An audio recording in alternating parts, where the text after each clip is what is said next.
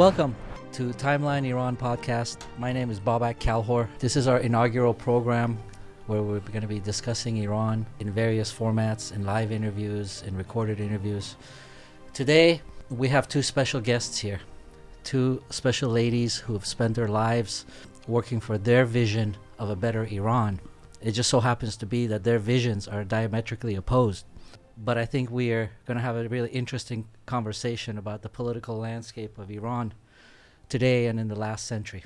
We have uh, Fariba Amini here and Roxana Ganji. Uh, Roxana has been a political activist and a die-hard monarchist her whole life. Uh, but especially after the revolution, her father, Dr. Ganji, uh, was a prominent politician in Iran in the Shah's government, held various positions, and she uh, has been a, a, adamant supporter of monarchy and that cause in Iran uh, for the past 42 years.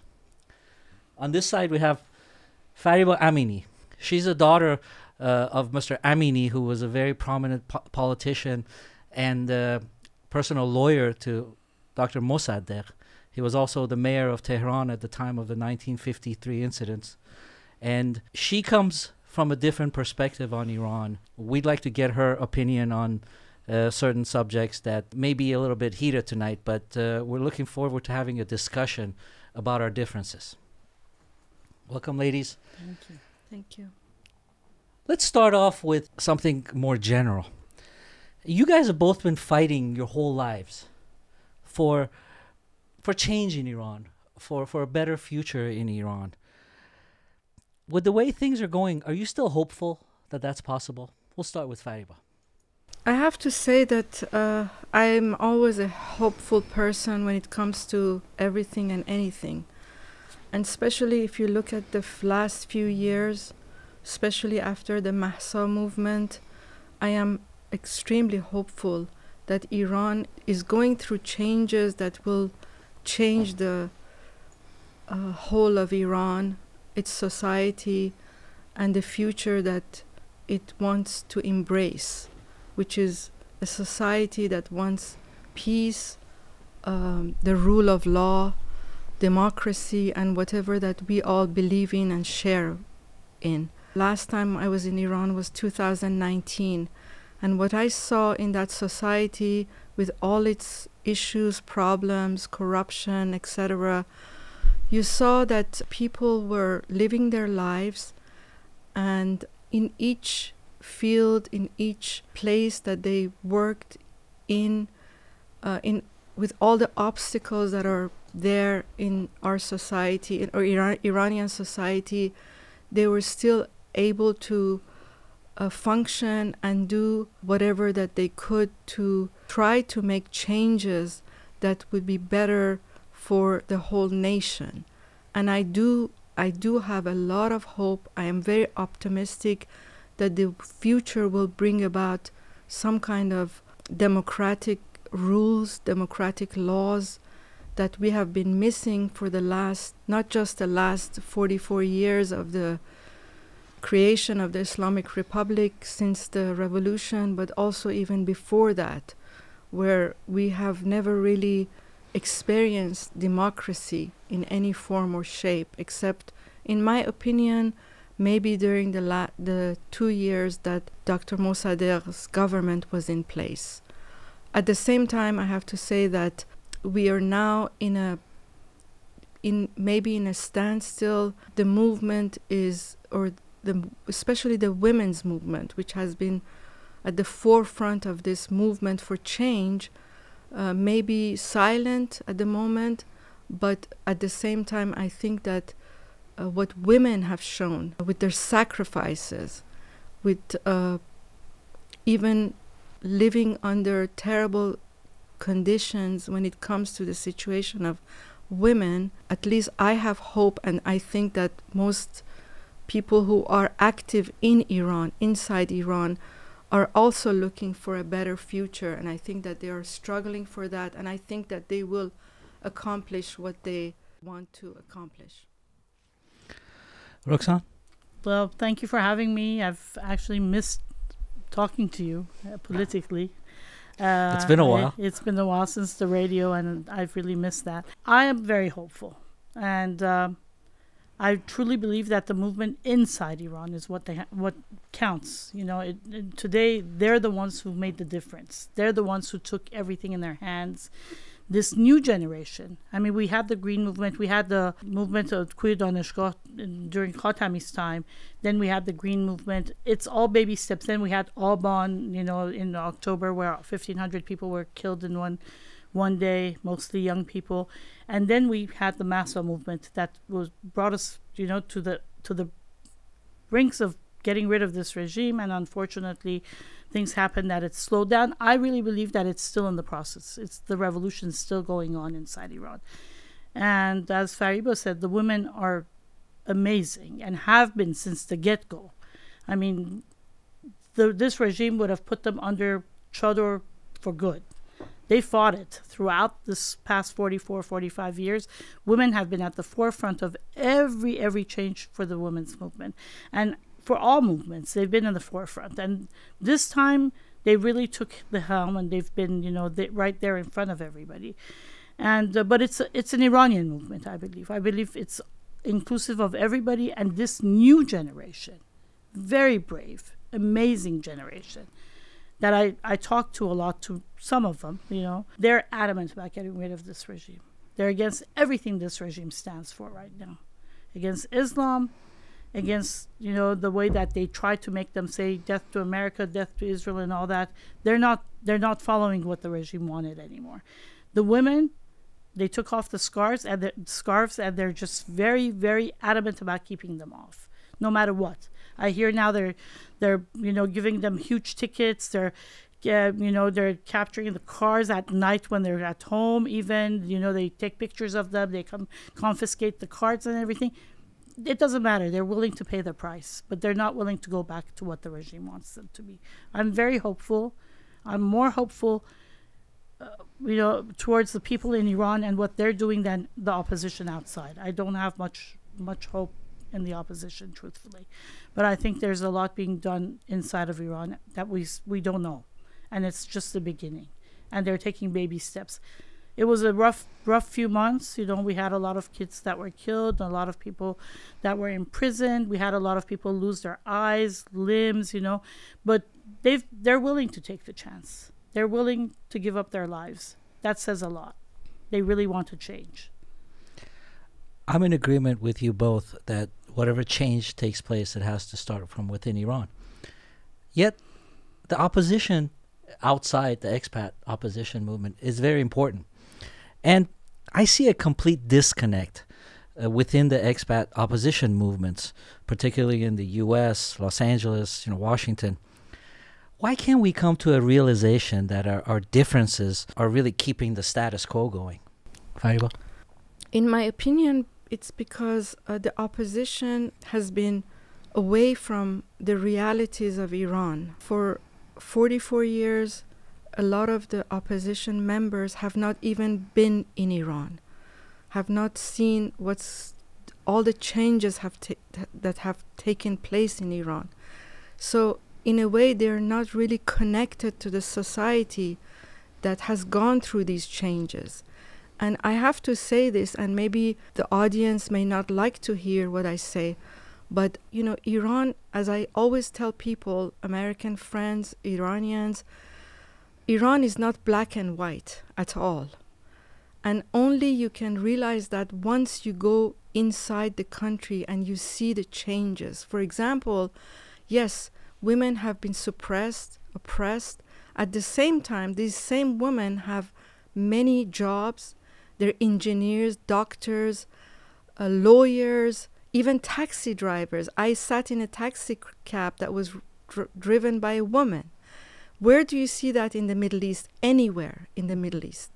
So the opposition has no real connection with the society. They still live in the past, which is 44 years ago since the revolution, and if you're not in touch with your society, you cannot determine what's good for that society. Yes, all of us want drastic and dramatic changes, But at the same time, we have to be realistic.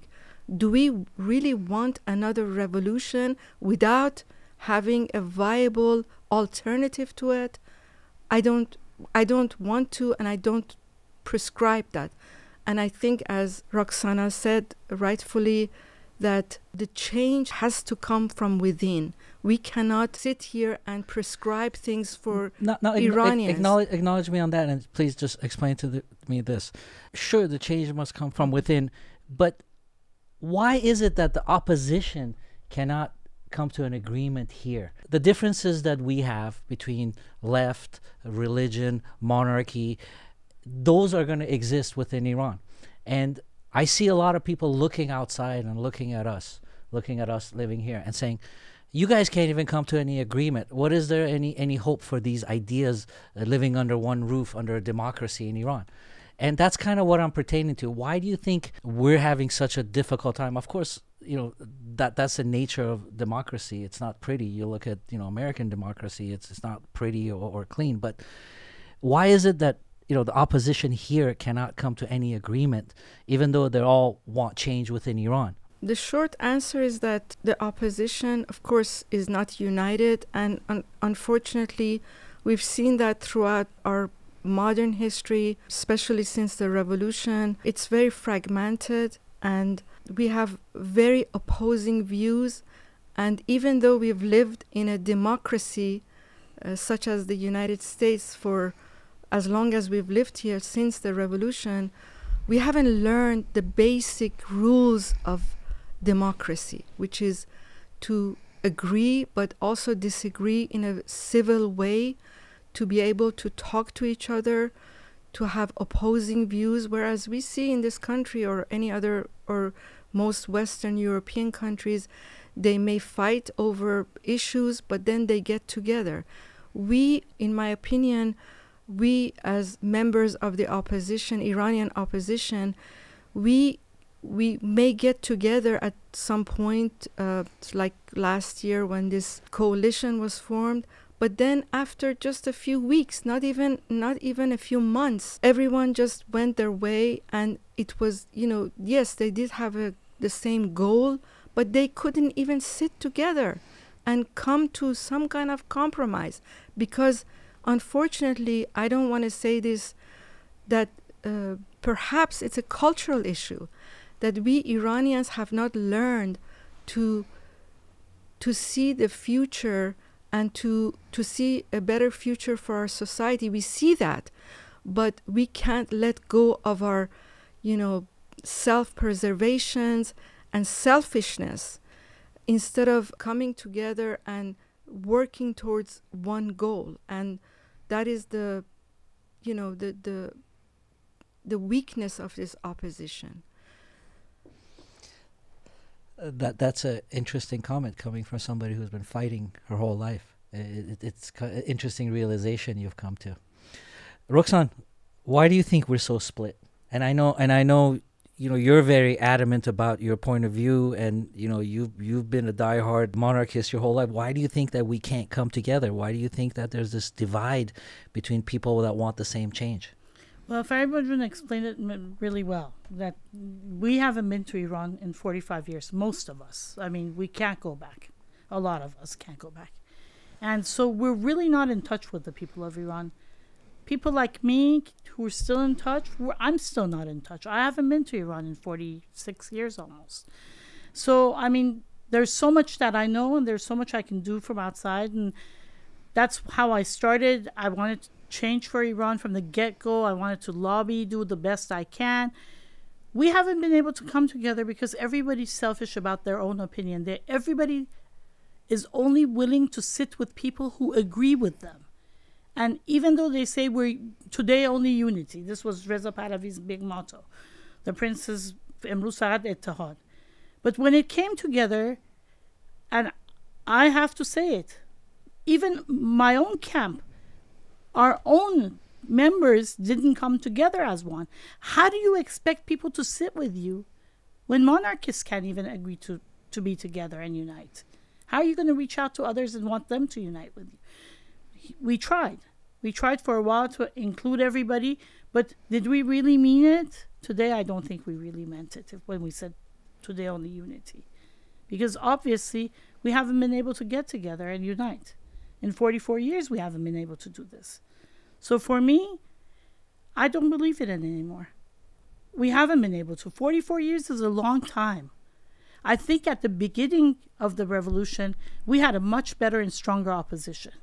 I mean, Dr. Bakhtiar, the late Dr. Bakhtiar, my father's organization, even though they were different in, you know, one was monarchist, my father started as a monarchist. I mean, then he realized that the monarchists all camped uh, against him. So he decided that he's going to go his own way human rights, freedom, and democracy for Iran and not let that affect the organization. And maybe that was one reason they were successful enough that the regime came and terror, you know, uh, killed about four of their members, four or five of their members outside of Iran. And when Clinton came to power, the, one of the big things for the Islamic Republic was to stop the funding for Derafsh Kaviani my father and Dr. Bakhtiar worked really closely together. I mean, on issues. I mean, uh, they talked to each other.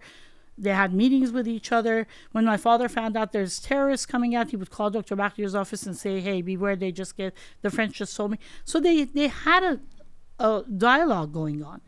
After a while, this dialogue stopped, and it was all everybody's after their own agenda. This can't work when we're after our own agenda. We have to come together. We have one enemy, and that's the Islamic Republic. And like Fariba said, I just don't want to have a change just to have a change. That's the big mistake they did during the Shah in 1979. They said the Shah has to go. It doesn't matter who comes to power. Look where we are today. I don't want that to happen for Iran again. I don't. Let's take a step back into the last century. And, you know, We've had countless changes of governments, kings, dynasties. We've had five revolutions, five complete changes of government in the last century, in the in the 20th century. Why do you think 1953 and Mossadegh is still so important and vibrant in our in our political consciousness in Iranians that we still are at this impasse over this one prime minister in, in hundreds. Uh, we've even had changes of kings and changes of monarchies, which hasn't created such a little sticking point for us. Fariba, you tell me that. You, you tell me why do you think the memory of Dr. Mossadegh and the 1953 is different than Razmara or Qavam or uh, any of the other prime ministers that have come and gone? To be very frank, you know, I was born and raised in a family uh, who was very political. And uh, I remember when I was a child, we had radio uh, Araq. You know, I was very, very young. I don't know, probably in my teens. So I was raised in a family that, you know, we listened to different radio stations. And I didn't know at that time who Mossadegh was. I just knew that, well, he was my father's hero and then, little by little, after growing up and then coming to the US, I started reading more about him. It wasn't just because my father's he was my father's hero, but the more I read about him, this man who uh, he represented what he wanted for Iran, I came to even uh, admire him more. And one of the things that I've always talked about in my writings, even with an interview I did with you two years ago about Mossadegh, it's not like, uh, you know, any politician, every politician may have flaws, may have made mistakes and all that. But one thing about Mossadegh which really highlights his tenure and his his being is or what he did for Iran was he was one of the very rare politicians who was incorruptible. In my opinion, that is the major major attribute of Dr. Mossadegh that no one could buy him. No one could tell him, well, you should do this, you should give money, uh, you should uh, give bribes to individuals, to the clergy. Uh, you know, I would like to quote from my father's memoir, which was one of the longest interviews that the late uh, Dr. Habib Lajavardi did with Harvard Oral History. 16 tapes. And in one of those tapes, uh, and I always like to mention this, is Kashani, Ayatollah Kashani, my, my father was a liaison between Kashani and Mossadegh because they used to say that, uh, Mr. Amini, you're a Akhundbaz. Uh, but it's funny because, uh, and I think that I uh, take this, uh, you know, wonderful character of my father, not as good as him, but that I like to, you know, sit and and and talk to other people from different points of view, monarchists, leftists, uh, you know, socialists, Democrats, from all different points of view. And this was also my father. My father had many, many monarchist friends. I mean, Dariush Homayun used to come to Washington. The first place he would come to was my father's house.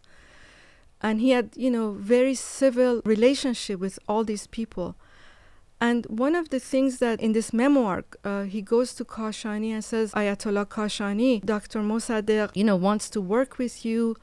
And Kashani replies, well, tell him that he has to appoint my son, who was at that time 20 years old, his youngest son, to become a member of the Majlis. And uh, my father takes the message back to Mossadegh.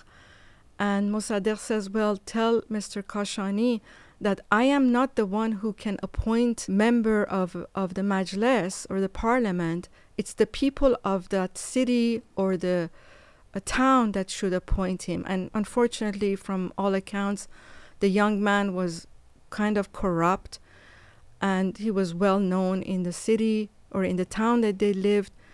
And when my father takes the message back to Kashani, Kashani says, Well, tell him that if he doesn't do that, if he does not appoint my son, I'm going to bring him down. And he uses actually a very foul language. Unfortunately, he did have very foul language, which I'm not going to repeat in this uh, interview. But what I'm trying to, to, to tell you is that uh, Mossadegh believed in the rule of law, in democracy. He believed in the Jeffersonian, he was in the Jeffersonian mode of thinking that we, we can have a democracy even in Iran, which has not experienced that and um, he uh, whenever they brought him gifts uh, this is another very interesting episode he would tell um, he wouldn't reject the gift uh, because it was not polite but he would tell the person the next person who comes to the door give that gift to that person. So he was against bribing people he was against you know giving any kind of uh, favors even even when they named they wanted to name a, a street in his name while he was the prime minister. A lady comes to, to the office of the prime minister and says they're going to uh, uh, demolish my, my house because they want to name this street in in your name. And he says he orders my father who was the mayor at the time please go and do whatever you can mm, to stop this because i don't want any uh, uh, uh, any street in my name when they're going to demolish the the person's property. So he he was uh, he was a man who uh, believed in integrity. He was honest to the bone, and maybe that was one of his detriments that he in in a society like Iran where corruption has been always had been always rampant, he was the only one. And he's uh, the people around him, the people around him, people who were members of the National Front, including my father, they were all of the highest integrity. They all wanted to uh, work for the betterment of their society. And I have to add this that also many in the Shah's entourage, many in the Shah's entourage were also of the same caliber.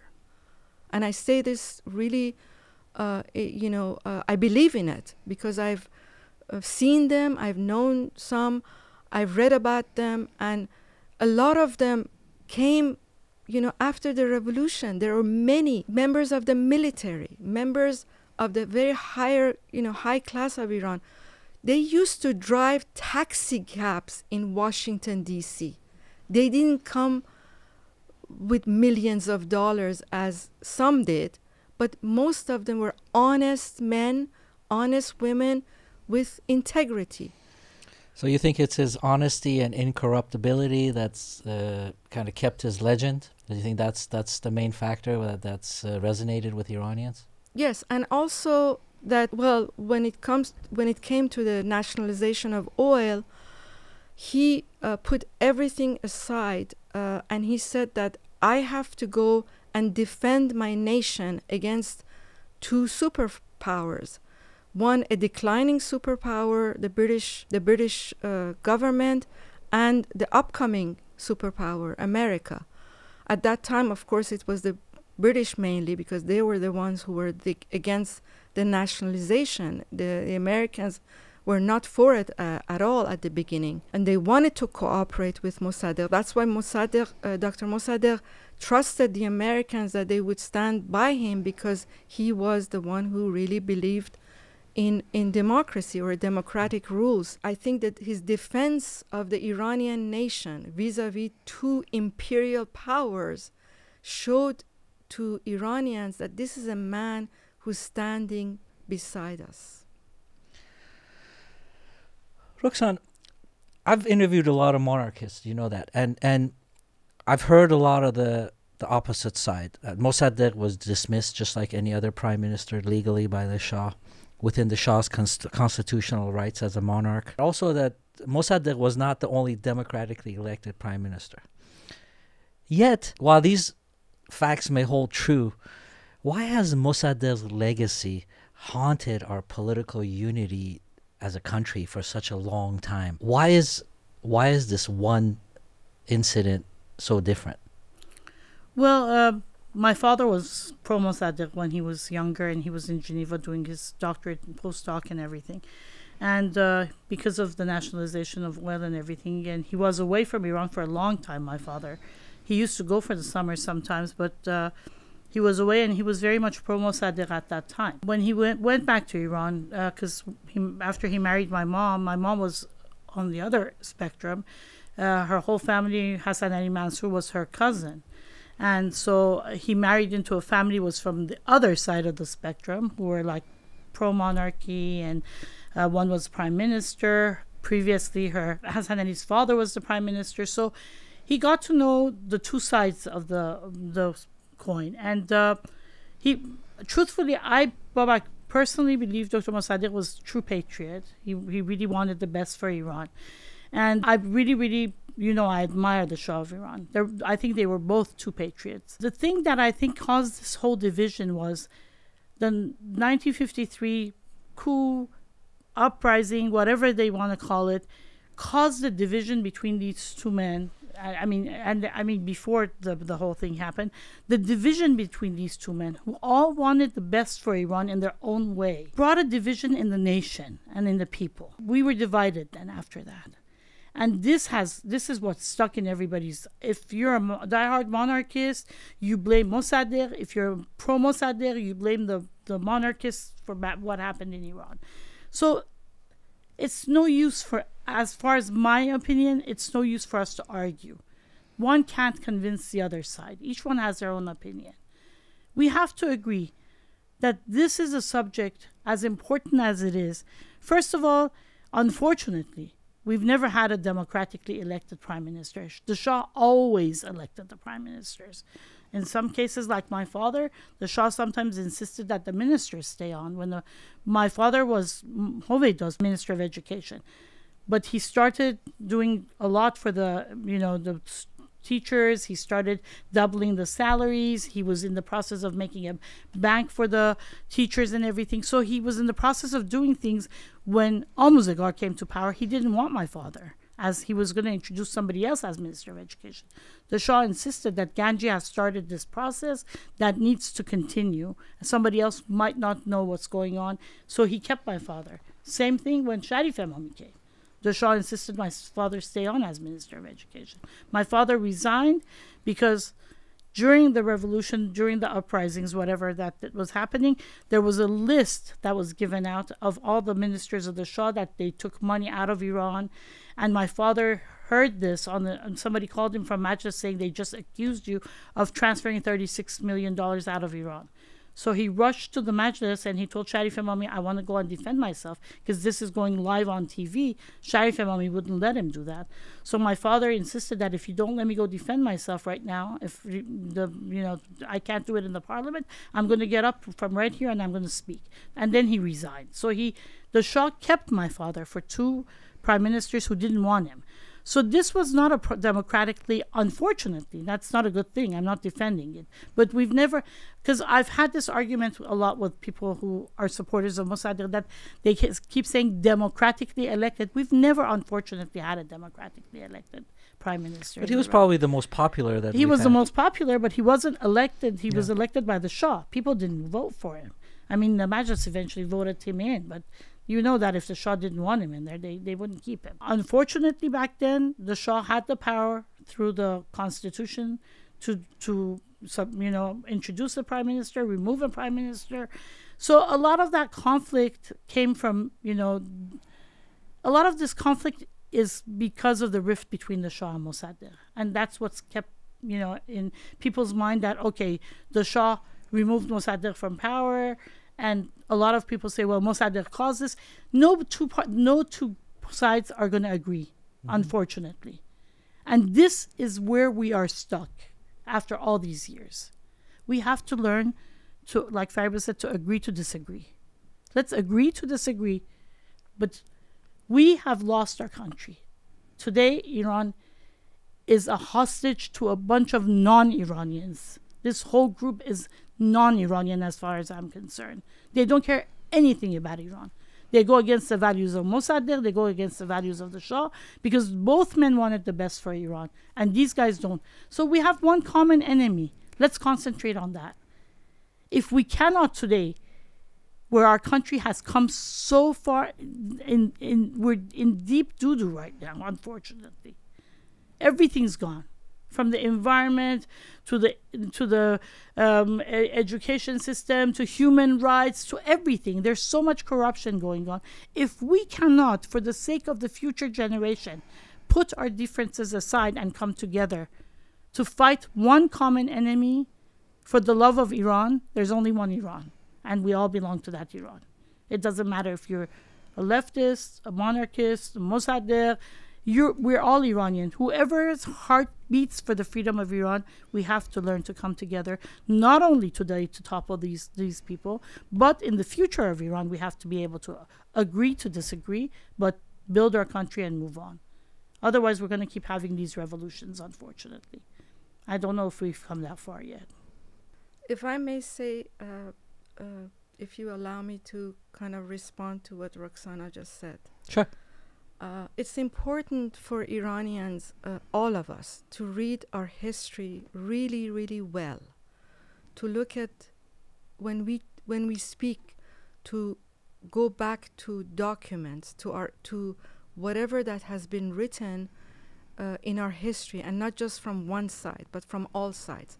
Especially if we read academic works, because the academics have done tremendous research on the subject of Mossadegh, the Shah, the revolution, the coup d'etat, and all that. Still, you know, to this day, we find a lot of monarchies who say there was no CIA coup d'etat when when the CIA, uh, not MI6, but the CIA even has admitted that there was a coup, that we actually uh, paid money to various elements within Iranian society, whether the clergy or pro uh, Shah people. And, you know, to deny this is like you're denying our history.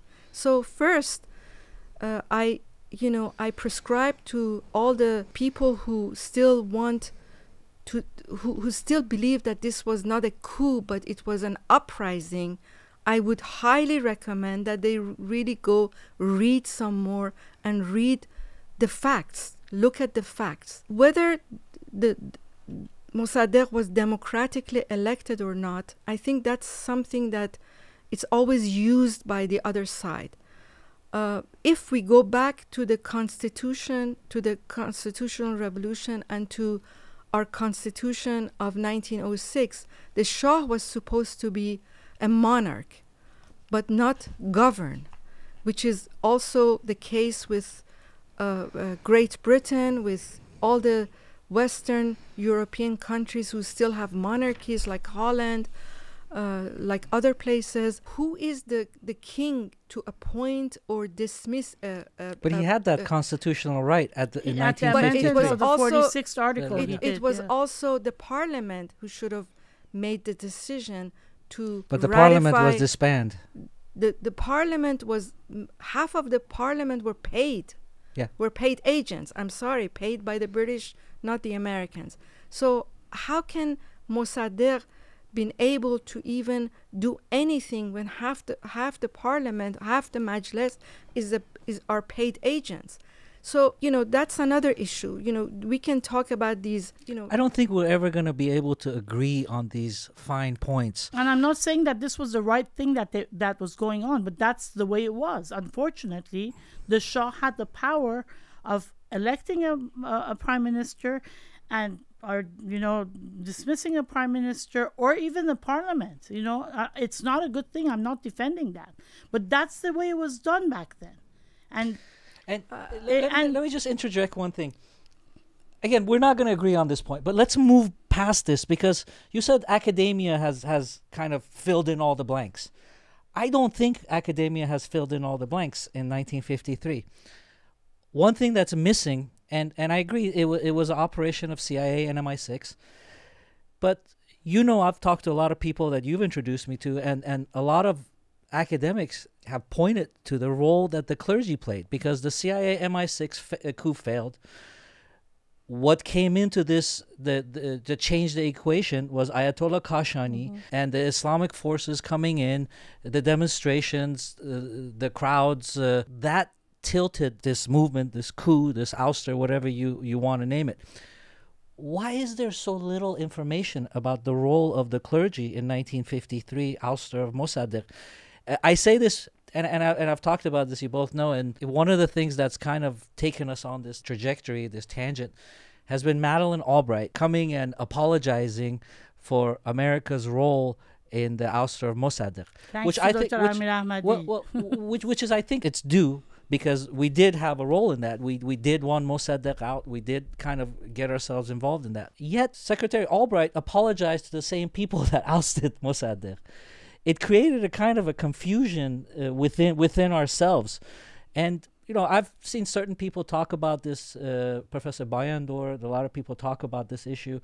But very few people in academia uh, discuss that. Recently, there's certain things that have been coming out with the freedom of information, and we're seeing, Mm-hmm. you know, the the the monies paid, the support that was given to that. But why do you think there's no discussion of that? the role of the russians in all of it and the Well, let, of- let's let's let's yeah. talk about let's talk about the clergy. Let's ask you why do you think there's so little? I'll come back to you on that. I don't want to throw everything on you on this, but why do you think there's there's so little discussion about that? And we as a country, uh, we don't discuss that. We don't know about that. Our people don't discuss that either.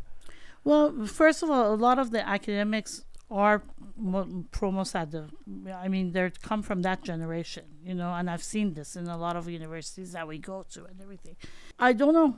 I what am I going to tell you? I from what I see is that you know a lot of people are one-sided about this. They're just not willing to see both sides of the coin. They see mostly the Mossadegh, especially the academia.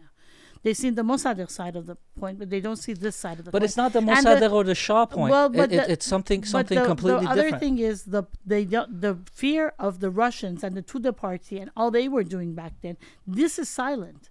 I mean, now it's coming out with these CIA documents that came out about how Ajax got started and all that stuff. There's slowly trickling down information that's coming out, and Dr. Mossadegh's, uh, you know, at one point I've read this. This is I, I I'm not sure about this, but I've read I've heard this that um, they the family of Mossadegh gave the, his private letters and everything to Hossein Keostovan, and there was one letter to the Russians seven eight years before 19, 1953 or I think 1944 or 1945 that Mossadegh wrote to the Russians about uh, praising the Red Army and all that. So this all being put together is brings the fear. Even though we know Dr. Mossadegh was a patriot, but back then maybe the situation was different that he had to deal with the Russians somehow. I don't know the details of that. This is all coming out, but maybe that it was it's it was the fear of that that caused the Americans and the British to get together and decide, okay, what are we going to do? Let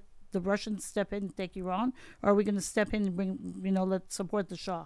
And I think that's what happened that they really decided to support the Shah. And again, that that's let's go back. I understand we know we don't want to go back to the things that that we've. You're saying discussed. why there, I want to say why the there's no discussion of the clergy having a role in ousting Mossadegh. Maybe you can answer that as as a supporter of Mossadegh, and you know what happened that he was ousted. We talked to Mr. Hedayat Matin Daftary. He, he told me who those those thugs were in the streets.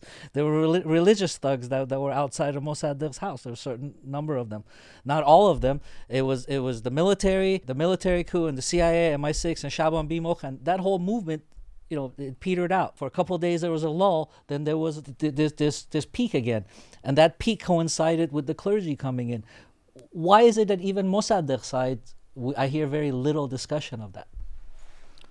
Because uh, I think it's much more complicated than that. And one, you know, I want to first start by saying that not all academics are pro Mossadegh. Academics are supposed to be writing from a completely uh, neutral point of view, and many have, many, maybe many not, they, they, they have not but mostly academics of high caliber, they write history as it is, as facts are shown, as documents are shown. And these people have gone through documents from the British offices, from American archives, from European archives.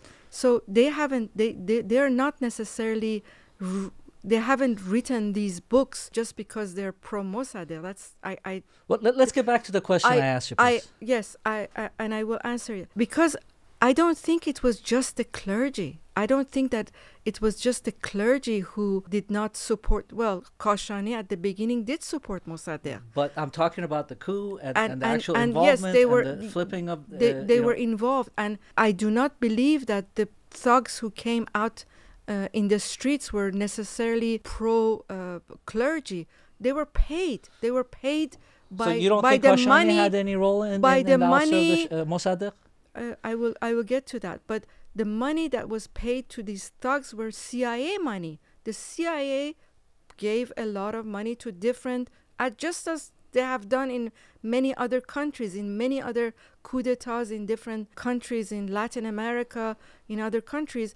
They pay whoever that they can pay and they will come and do their you know bid or their their dirty you know uh, involved in their dirty uh, uh, hand. We have acknowledged and the cia role. I'm talking about this particular part of it. And i'm saying that it was in this coup d'etat. It was not just the clergy and the the clergy I, I, didn't say it was just the clergy. I said that's that's that's the yes, tipping point. That's what added into the equilibrium and, the, and, changed it. And the clergy's role is coming out more and more in the new documents, in the new research that's been done.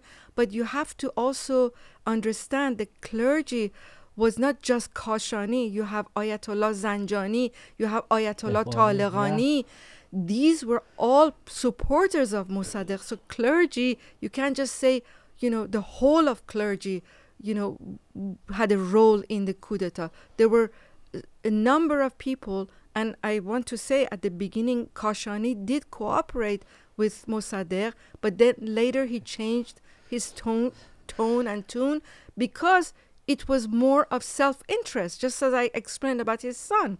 Regardless of that, I just again, I'm going to leave it at that if, if, if you want to leave it at that. But just my question is, why don't supporters of Mossadegh acknowledge that role? Why haven't? Why is it just starting to trickle out in academia? Why hasn't there been more? As much as information has been on the CIA role and the MI6 role, and the CIA has written books about that we did this, but very little in there is mention of the mechanisms they used, uh, which is you know paying people and sometimes paying the clergy on that too. Why is there why is there no mention of it I, from the Mossadegh camp? Because this is like something that would affront me. If I was a supporter of Mossadegh, uh, I would be upset at this that nobody's discussing this. I think because more research has been done in recent times, in the last uh, maybe 10 years, of the role of clergy. And I think a lot of people have talked about it, have written about it, but the, it was not just the clergy whose role was important. You know, it is coming to light now because more research has been done. Uh, you know, the, the, the, because because of the role of the CIA and MI6, and also uh, the their agents, their, th- those were much more crucial in bringing down Mossadegh than the clergy, because the clergy, when we talk about clergy, it's a vast, you know, number of people. Then where do you put Taleghani, Zanjani, and all these other people? Yes, then there was Behbahani, there was uh, Kashani, and- Behbahani and Kashani, they're kind of in the same because camp. they That, were that's yeah. yeah because they were very pro Shah. Yeah. They were very very pro Shah. They you know they they, I mean Kashani has, you know, a famous saying after the coup that I'm you know very happy that the Shah has come back to Iran. So you know it was self interest. Mm-hmm. Could I ask you something, Faribajun? Do you agree that the Americans and the British, and I, I hate for any country to interfere in our business. I, I, I really, truly do. Uh, and from my own experience with my family and my father being funded by the CIA, his organization, I know they're after their own agenda, and that when they need to, they pull out. You know, they, they don't support you in your cause. It's their self interest that they're after. But do you agree that back then their fear of the Russians stepping in, which they finally did in '79, because we all know that they're running the behind the show, the Russians are running the Ayatollahs in Iran. Uh, but do you agree that that was a big threat back then, that the Russians could step in with the Tudeh party, and that's why they supported the Shah to come back in fear of Mossadegh stepping in and the Russians taking advantage of this situation to come in? Uh, yes, to some extent, uh, I agree with that. But however, you have to uh, see that the Tudeh party, there were also many members of the Tudeh, the rank and file, who were very much pro Mossadegh. And yes, it, you know, we're talking about the Cold War. The Americans were scared of the left, of the red, you know, uh, the Reds, you know, the Russians coming to Iran and, you know, taking over if Mossadegh were to stay in power. That's why they wanted to bring the Shah back, or they wanted to keep the Shah. But Mossadegh himself, and this is not just me saying, George McGhee, Ambassador George McGhee, in his memoir on or in his book Mid, uh, Envoy to the Middle World, he says that I had long conversation with Prime Minister Mossadegh, and I knew uh, from all the conversation I had with him and from all the documents that we in the American diplomatic corps know, know of him that he was anti Soviet, he was anti communism, and he had no uh, affinity with the Tudeh party. In fact, in fact, in my father's memoir, there is a mention that uh, the Tudeh members of the Tudeh, uh, some of the high-ranking members, came to Dr. Mossadegh and told him, "Listen, there is a coup against you, and you have to arm us in order to stop the coup." And he says in response, "Let the hands of a prime minister be broken if I arm you to shed the blood of my people, of our people." So you know, from the the CIA and and uh, let's not talk about the British, but the CIA knew that Mossadegh was anti-Soviet, anti-influence of the Tudeh, and yes, you know the Americans at that time in that you know um, in that period they were scared of the you know uh, the red or whatever they call the red influence in Iran that maybe Mossadegh could not hold on to power and the Soviets could come and take over Iran. That is always a possibility, but you know we can't really t- uh, we can't really say for sure, and we can't really live No, we in can't. history with ifs and what. Now, another question, another if. If Dr. Mossadegh and the Shah were able to come together and, for the sake of Iran, work together and put their differences aside, do you think this revolution would have happened? Well, you know, uh, as I said before, um, you cannot live with ifs in history. Uh, I believe that if the Shah had cooperated with Mossadegh. And the main difference between Mossadegh and the Shah was Mossadegh believed that the king should be monarch and the prime minister or the and the parliament should govern the country.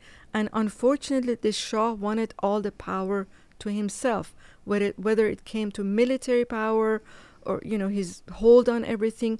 And you know he didn't co- cooperate. He didn't cooperate with Mossadegh, and unfortunately, the the foreign elements and the elements you know inside Iran, whether it was clergy or pro-British or pro-American agents, they were active. The CIA was writing, you know, um, articles in, at, in Langley, and this is, you know, according to, to all the cables that were going in and out, you know, from the, Langley in in Virginia mm. to Tehran. You know, they would write articles, and it would be published in the next uh, day. Uh, news dailies of in Iran, so they were very much involved in you know, trying to undermine the government of Mossadegh because Mossadegh basically, in my opinion, the Americans did not want to, uh, because of his insistence on the national, you know, in nationalization of oil, they did not want to have a precedent for other countries in the Middle East and other countries around the world who wanted to nationalize their their natural resources. And they wanted to to halt this because because of interest because of oil interest or because of you know in in in in, in the case of Chile or Guatemala or other countries they wanted to gain to have access to the resources of those countries you know, it's interesting you guys mentioned Russia as being the biggest fear of America, Iran cozying up to Russia. And Look at Russia today.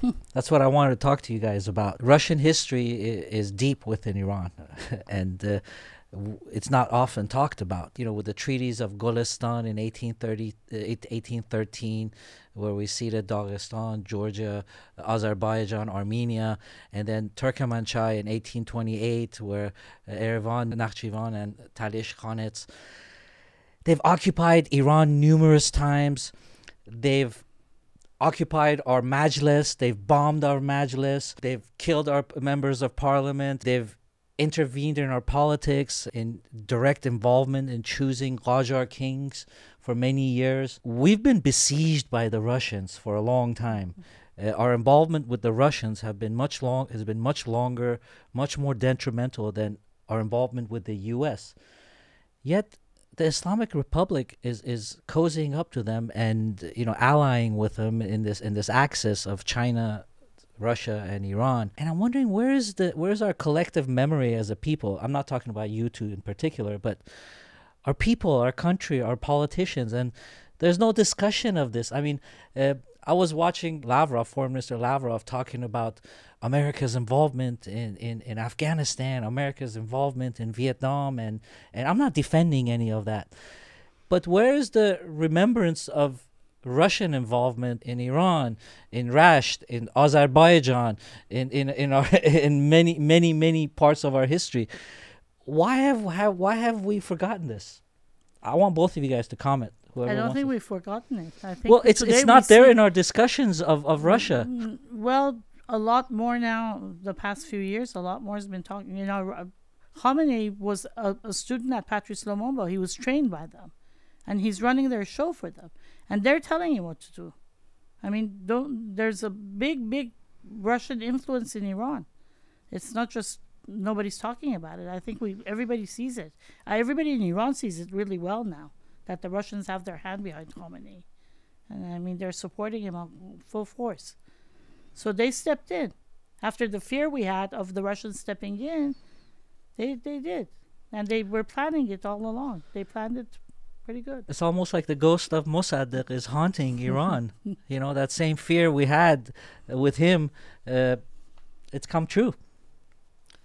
Um, I, I, I was just actually the other day, uh, I was uh, translating uh, the interview that you conducted with Gary Sick. And it's a very interesting interview because he also talks about this. He says that uh, the British British imperialism, American imperialism, is all that Iranians talk about, but they do not talk about Russian imperialism and their role in the history, at least the modern history of Iran.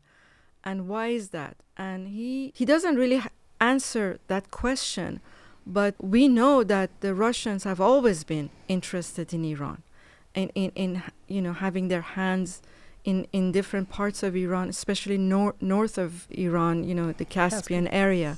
and today, yes, definitely Russia is involved very much in Iranian politics.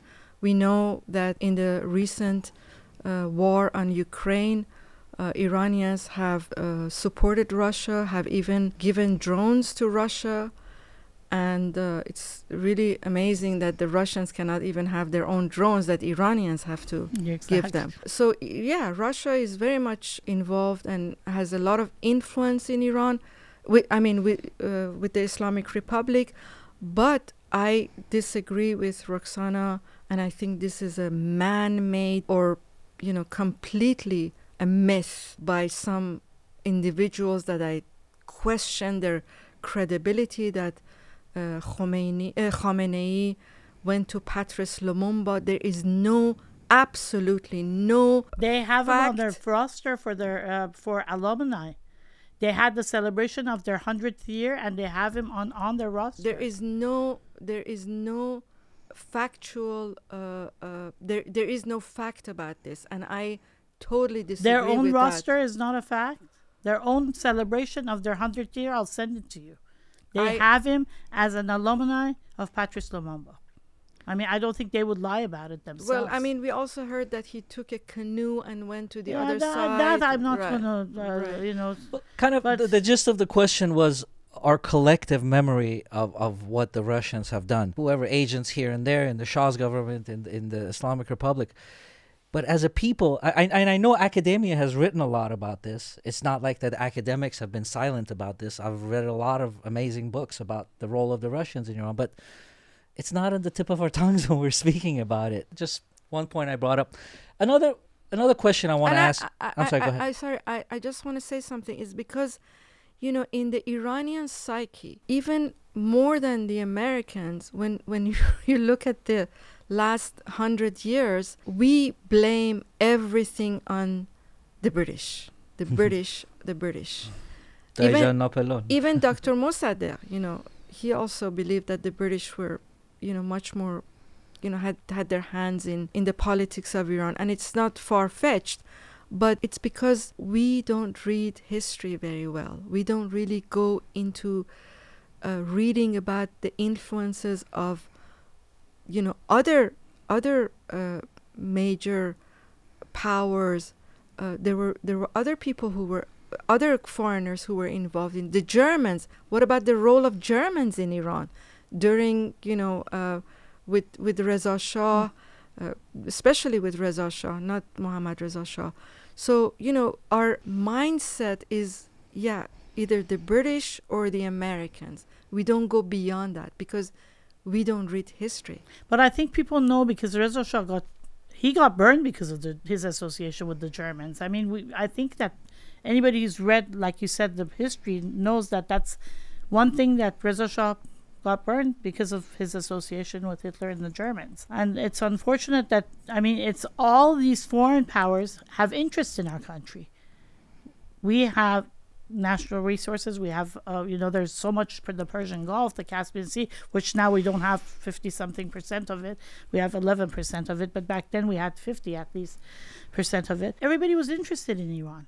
And unfortunately, we are to be blamed as Iranians for allowing these, for, even now, even today. I mean, we allow these foreign powers to step in and decide for us. And I know that to some extent, it's inevitable that they're going to do that. We need their help in certain issues, but we have to learn we cannot count on anybody but ourselves. But we haven't learned that yet. Even today, uh, in our opposition, everybody's looking for funding, everybody's waiting for somebody to fund them. When they've seen organizations like Darafsh, like a lot of other organizations who were funded, even these media right now, Manoto just got pulled off. In January, they're going to shut down their doors. Hmm. Okay, Iran International they cut their staff by half, brought them to Washington. Now I don't know what's going on. They're moving back to London apparently, but anything that's funded by the foreigners is going to be controlled by them, and it's going to be for their own benefit. It's not going to be for ours. But we still don't learn. When are we going to learn? We are a smart country. I mean, we're a smart bunch of people. Look what they did in Silicon Valley. Look all over the world. The best doctors, the best engineers. We have amazing brain that's leaving in Iran, which is unfortunately this brain drain is terrible for Iran in the future. But we could have built our own country and we could have sta- stood on our own two feet, but we constantly wait for foreign powers to step in, and we're looking, still looking for foreign powers to come and rescue us. What's wrong with us? We have so much money outside. The diaspora could help, you know, the, this successful diaspora could help with with freeing their own country. But no. Well, I think we have enough resources that we don't really need. I mean, Iran has enough resources that we don't really need the money from diaspora. I don't. I don't think we need money, but I do think whatever happens in Iran, and it, it has to start from within Iran. It has to be Iranian players. It has to be Iranians, the new generation there. But there has to be support from outside. There has to be some kind of a support from. We saw that in the women's movement in Iran. Uh, support, yes, but control, no. No, of course you're not going to be able to control them, but Uh, even that, you know, you, you like the 2008 movement. I was very active in a radio station here. We are doing mm-hmm. programs, and we saw the pressure in Iran. We saw millions of people come on the streets, and you know, the airwaves were open. CNN, Fox, NBC, every day it was Iran. The demonstrations. And I remember all of a sudden President Obama came out and said, My hand is out here for Ahmadinejad to shake. And they shook hands, and that was the start of the JCPOA and the people's movement went away. The same thing kind of happened with the women. never shook hands with. Well, it was my hand. Right. They didn't shake hands directly, but U.S. Uh, supported their policies, their yeah. policies shaked hands. You know, the, the JCPOA was a shaking of hands. That's fast why people forward, were saying, Obama, are you with us or with them? well, fa- fast, yeah. fast forward, fast forward to the women's movement. We saw that. You know, we saw so much support here. Everything was there. You know, in the Oscars, and everybody was wearing the scarves, and it went away again when when you know the deal was made for the six billion dollars and the hostages, and you know, of course, we need Iranian oil, so there was negotiations, the start start of negotiations, which, which went nowhere. And our people, the opposition, we backed off. We quieted off, okay? Because CNN is not playing any more videos of people dying. We forget uh, because Fox is not showing uh, videos of women getting beat up on the street. We stopped as an opposition. I think it, that's where we come in, is to make sure that the lights, the camera, action is on Iran, and we don't take the attention off. So I do believe we p- play a role. It's not to determine what the Iranian people decide, but we got to make sure their voice is heard. I But think, I think don't undermine the, the Islamic Republic and how they, they have players in place from the White House to everywhere else to stop whatever. And if we fall in that trap, which we do, we fall into the trap of NIAC a lot of times. NIAC's placed their players in key positions which we haven't. The Democratic opposition hasn't been able to do that. So they stopped a lot of it. They put us in. They put a trap for us, and we fall into the trap. That's the that's the problem that I've let, given let me play the devil's opposition. advocate with you with Nyack. Sure, they they they promote uh, open relations with Iran, commerce with Iran, normalization of re- uh, relations with Iran. But on the other side, they perform a lot of services that there's no other orga- uh, Iranian organization that's what? performing it. Like what? They're there. They're there speaking. They're there talking on behalf of Iranians. They're there. Yeah, but he's at the JCPOA conference all the time with Zarif. Again, he, he, f- Ye- follow me, I'm not saying I agree with Yeah. what they're saying, and I'm not saying that they're supported from from you know the one side or another. But where is where is the rest of us? That's Wh- what I'm where are the monarchists? Yeah, exactly. Uh, where where where are the the open democratic sides, the the National Front? Where are they to fill in this void that's been filled with something else? Um, I you know I disagree with making or uh, yeah making NIAC this awful awful uh, you know agent of the Islamic Republic because I know many of their members who are very much against the policies of the Islamic Republic. You know, we try, I don't know, Iranians, we either this person or this organization is horrible, an agent, you know, of course, everybody is branded. That's very, we are very good at that. We always brand people. I think that NIAC, when they started, they wanted to represent the Iranian American community in the US, and perhaps they had you know uh, the, the Islamic Republic behind them. I don't know. I'm not going to you know I without facts, without uh, documents, I cannot say that. But you know, you know who was actually on the board of NIAC? I mean, please tell me that this is, you know, NIAC is a, is an agent of the Islamic Republic. Uh, John Limbert, the ex ambassador John Limbert, the ex hostage was on the board of NIAC. Yeah, He but Limbert also sp- is very close to a lot of the re- reformists and everything. So I mean, I mean that that's not a good enough reason. NIAC was founded by Zarif and Amir Ahmadi, who hired Trita Parsi, says the whole story. And Hassan Dai, who took them to court and won, he gives you the whole history. NIAC is definitely the lobby for the regime. I mean, a lot of people have a hard time believing this. let, let, us uh, uh, even if we can't It could be, substantiate that yeah, let, let me play the let me play the devil's advocate w- with you i'm not i'm not implying they're they're agents of the islamic republic i've actually interviewed on the, when i had my radio program i interviewed uh, trita Trita parsi Parsi. and hassan Who, who claimed he doesn't speak it, Farsi. it, it was back it was a very interesting interview but forget about forget about who supports them or where they come from for for an organization claiming to represent Iranian America and the biggest community of Iranian Americans in Los Angeles, when their president cannot come and give a speech in Los Angeles because he's going to get heckled and he's going to get demonstrated by people like that. I think it's hard for them to claim that they're representing the whole community. They are representing a, a particular interest, uh, which is opening up negotiations between Iran and, and, and the U.S. And Not know- Iran, Islamic Republic. Islamic Yeah. Republic and the U.S. Uh, now, whatever way you see that, some people are for it, some people are against it. I'm not here to make a moral judgment on that, but one of the things that that's important is if you're representing the Iranian American community, you better have some support that you can go out to the people. And it's and I do agree with you. There's a lot of fine people in NIAC. There's a lot of educated people. We've actually spoken with Ambassador Limbert, and it, he's going to be uh, one of the interviews that people are, are going to be watching here. And I have talked to him about this, and I have talked to him in this interview about support for NIAC. So there's a lot of good people involved in that. But as far as how popular they are in the U.S., uh, both of you guys know that it's hard for them to come amongst the people. But they've done a job well done. They Yeah. have people, Ariane Tabatabai, they have people in the State Department, they have people in the White House. They've placed their people. They've done their job really well, we have to say. We have to give them credit for that. Let's let's uh, let's change subjects a little bit.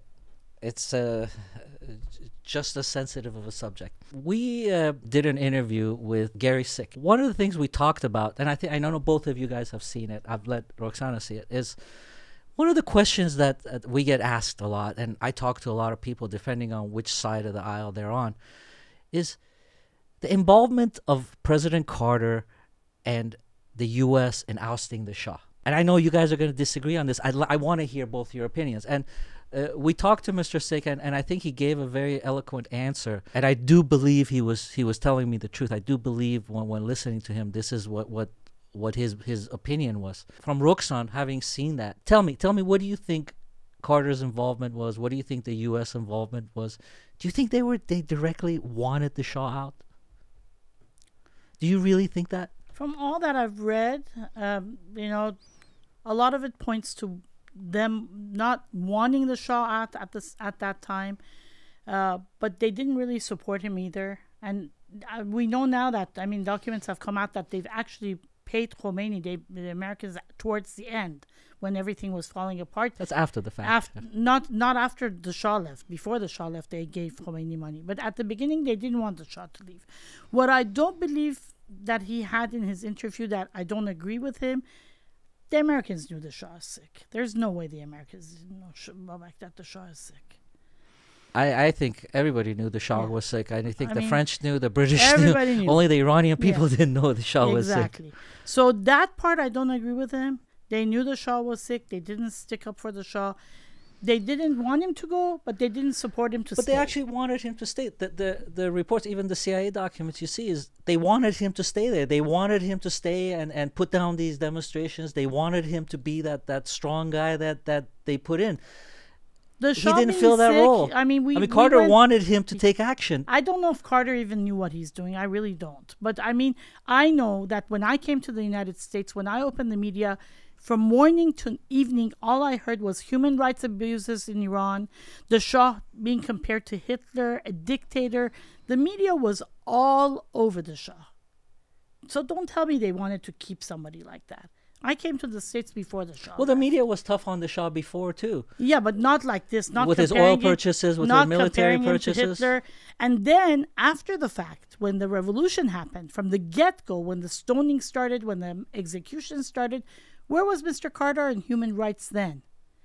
All these years, with all the human rights abuses, not once has Carter spoken about human rights abuses of the Islamic Republic. I always question him. They've blocked me. I make a new email. I not not anymore. He's he's not when he was alive. Alive, he's really not alive anymore. He's I mean he's really sick now and not Yeah, with it. but when he was yeah, when he was okay and he was still running stuff and doing stuff, I used to send him emails every time there was an execution, and I say, "Mr. Carter, where's your human rights today?" And they would block that email. I make another one. Where has he been on human rights all these years? Where have they been on human rights all these years? What go, what went on during the what's going on in Iran for the past 45 years? Nothing like this happened during the Shah's time. But they were all over the Shah. So don't tell me that they wanted to keep the Shah. Maybe they didn't want to overthrow him. The Shah was sick. And I think one of the flaws of the Shah was that he uh, didn't um have the. He, towards the end, I think he kind of gave up. He saw that people don't want him. He felt like people didn't want him. When he said, I heard the cries of your revolution, re- revolution, that was one of his biggest mistakes that he did. He admitted that there's a revolution going on. And he left. He left because he didn't want to kill his people more than what's going on now. But I think he should have stayed. I think that's one of his biggest mistake. Even being sick, he should have stayed, and not let everybody f- fall apart like this. Things fall apart. I think if he would have stayed, it would have been different. And I, they didn't really want him to stay. They supported Khomeini towards the end. They funded him. Fariba? Yeah, um, you know, my father always taught me because he was a lawyer that do not say anything without facts and documentation about anything or anyone. In the previous questions you posed to Roxanne, Roxanne said something to me that, or, you know, her answer that these people uh, who are in Iran, who are ruling our country, are not Iranians. No, I'm sorry, they are Iranians. They are Iranians. They didn't come from Arab countries. They are from the same land that me and you came from. And yes, they're different because they came probably from the, the, the, the villages of Iran who, you know, at that time we were not educated. Let's not forget, this is a fact. This is, this is a fact that during the Shah, the reign of uh, Muhammad Reza Shah, more mosques were built in Iran than any other time in the history of Iran. Could I interject one second? And- second? But, but what, what I meant was they're not Iranian at heart. Not that they're not Iranian. Okay. Uh, okay. What I meant was, if you're Iranian at heart, you can't do what you're doing to Iran today.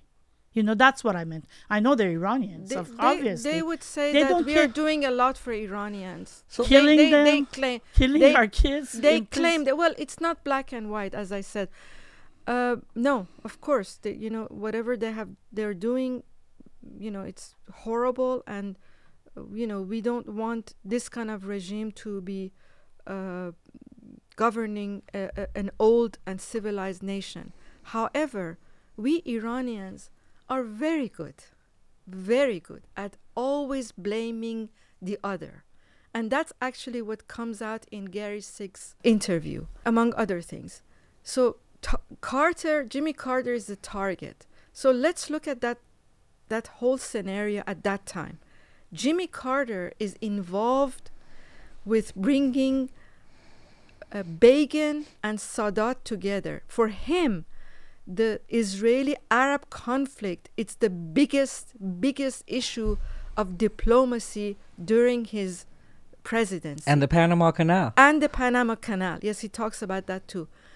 Uh, and and Gary Sick, you know, is you know in a way, in a funny way, uh, he says that Iranians and Iranian Americans think that Iran is like the the you know it's the universe for them. Yes, for them it is, but it's not for us. It's not for Jimmy Carter at that time. And demonstrations were taking place. And then you know his ambassador comes comes and goes and he says no you know the shah and the shah says i'm in control. The shah's people say that we're in control. And they weren't. They were lying. They were not in control. Mm. And yes the shah was sick. He couldn't make decisions. Alam was sick. Alam was the one who was who Holding on who to was ho- yeah who he Yeah. was the one who was made because we know from his character that also he was very indecisive he wasn't like his father he was very indecisive throughout his reign uh, and but Alam died. especially Yeah, that was a big. especially during the last few years of his reign, as you uh, very well portrayed in your film, he, you know, when someone is sick, do they want to leave the country with a legacy that I killed my people? He didn't want to do that. He didn't want to kill his own people. And he said that. Yes, and he said that. Yes, but in this, the, the, the fact that Khomeini was paid, this is nonsense. I'm sorry, Khomeini was not paid by anybody. Khomeini was in Iran. He was, you know, sent or exiled to uh, uh, uh, Iraq, and then from there, you know, he he was sending messages to Iran for, I don't know, 20 years, whatever, and yeah, he was still popular in Iran. The Shah's government paid him a salary every month. Let, let, us Yeah. talk about Well, we Ayatollah don't No, know that. but yeah, We the- don't no, know no, that. they they We- they've said this. I mean, uh, but l- that's not the issue. What I meant paid, like Palestine supported him towards the the end. You know, the Americans, the French supported Khomeini when he was in Neuf Chateau. Towards the end, the Americans also helped him. This all came out. Well, right? let, let, us talk about Ayatollah Khomeini for a second here. They enhanced uh, his his his coming to power, but it wasn't it wasn't that the, the French or the Americans. It was the population in Iran, the populace. Because let's not forget, let's not forget. Let's really be realistic about our country. Let's not just talk about Tehran, No, of course Iran Shiraz, and too. Isfahan. We are talking about a country that is very religious. That still, you know, even at that time was religious. the Iran, the Iranians, let's say that they knew uh, of Ayatollah Khomeini, but I've talked to a lot of people in the intelligence community. Okay, people in the CIA, uh, Mr. Sick, Mr. Limbert, who was in, in Iran at the time of you know 1960s when the the Khomeini the, rose and, and he, he was He exiled. was in the Peace Corps. Yeah. And I talked to all these people who in 1979 uh, they came in support of Khomeini as a religious leader who was going to become just a religious leader and we're going to have a constitutional movement you know the whole the whole spiel that was given to us at the beginning of the revolution and i asked all these people i said well you guys you know we didn't have internet then but i'm sure the cia and the nsa and all these agencies uh, they had uh, Khomeini's book. They had his opposition to the white revolution. They had his opposition to women's rights. They had his opposition to uh, land reform. They had his opposition to basic freedoms and, and you know the, the modernity that was coming with, with the opening of society. And I asked all of them. I said, "How come in 1979 there was not one mention of this is his beliefs, velayat faqih? He had explained the kind of government that he wants. He wrote a book about it. Yet nobody in the intelligence community had the wherewithal to come and say it. And this is one of those things that's just lost on me. I don't want to say that people are not telling me the truth, but just uh, you know, invoking ignorance of a, of a matter does not does not brush it away. Why is there the why is it that a lot of these people that were there were in Iran, they saw Khomeini, they saw what he stood for, they couldn't recollect his policies in 1979? I, I'm not putting this on you guys. Even like you have to answer the for it. media didn't do the, their job No. right. If somebody had read Resaleh Khomeini, his book, and talked had debates on the uh, on the news, you think people would follow him? My roommate in college, I came home from school from class one night. She was laying down on bed reading this book and laughing, and I'm like, she. As soon as I walked in, she says, "Roxy, I picked up this book from your library, the Little Green Book of Khomeini." That had the highlights of his craziness uh, about having sex with your aunt if there was an earthquake, about camels, about all this stuff. She said, Is this a joke book or is this actually what he wrote? So, this is actually what he wrote. I'll tell you one thing. I, I spoke with uh, Professor Milani, and he said a very interesting point. He said that that could have been the Shah's fault, because if during his time there was open discussions about Yeah, these I agree. subjects, the Iranian people I would have been better educated. When Said you have Osima should have done that. a censorship of everything, so you know this happens in a vacuum. Let me ask you guys your opinion yeah, on and, it. and, and, and to, that is a very important point Mhm. that unfortunately during uh, the reign of the Shah, so many books were banned. And if if if if, if Resale Aghay Khomeini, v- you know, Hukumat Islami was published, you know, uh, and and you know people could read it, then they could see. But who knew? Who knew that he was going to become, you know, a, a- the leader But of a towards the end, revolution? Towards the end, when he was, they should have read his books on on TV. A lot of Iranians didn't read; they weren't educated enough to read the books, and a lot of Iranians don't like to read.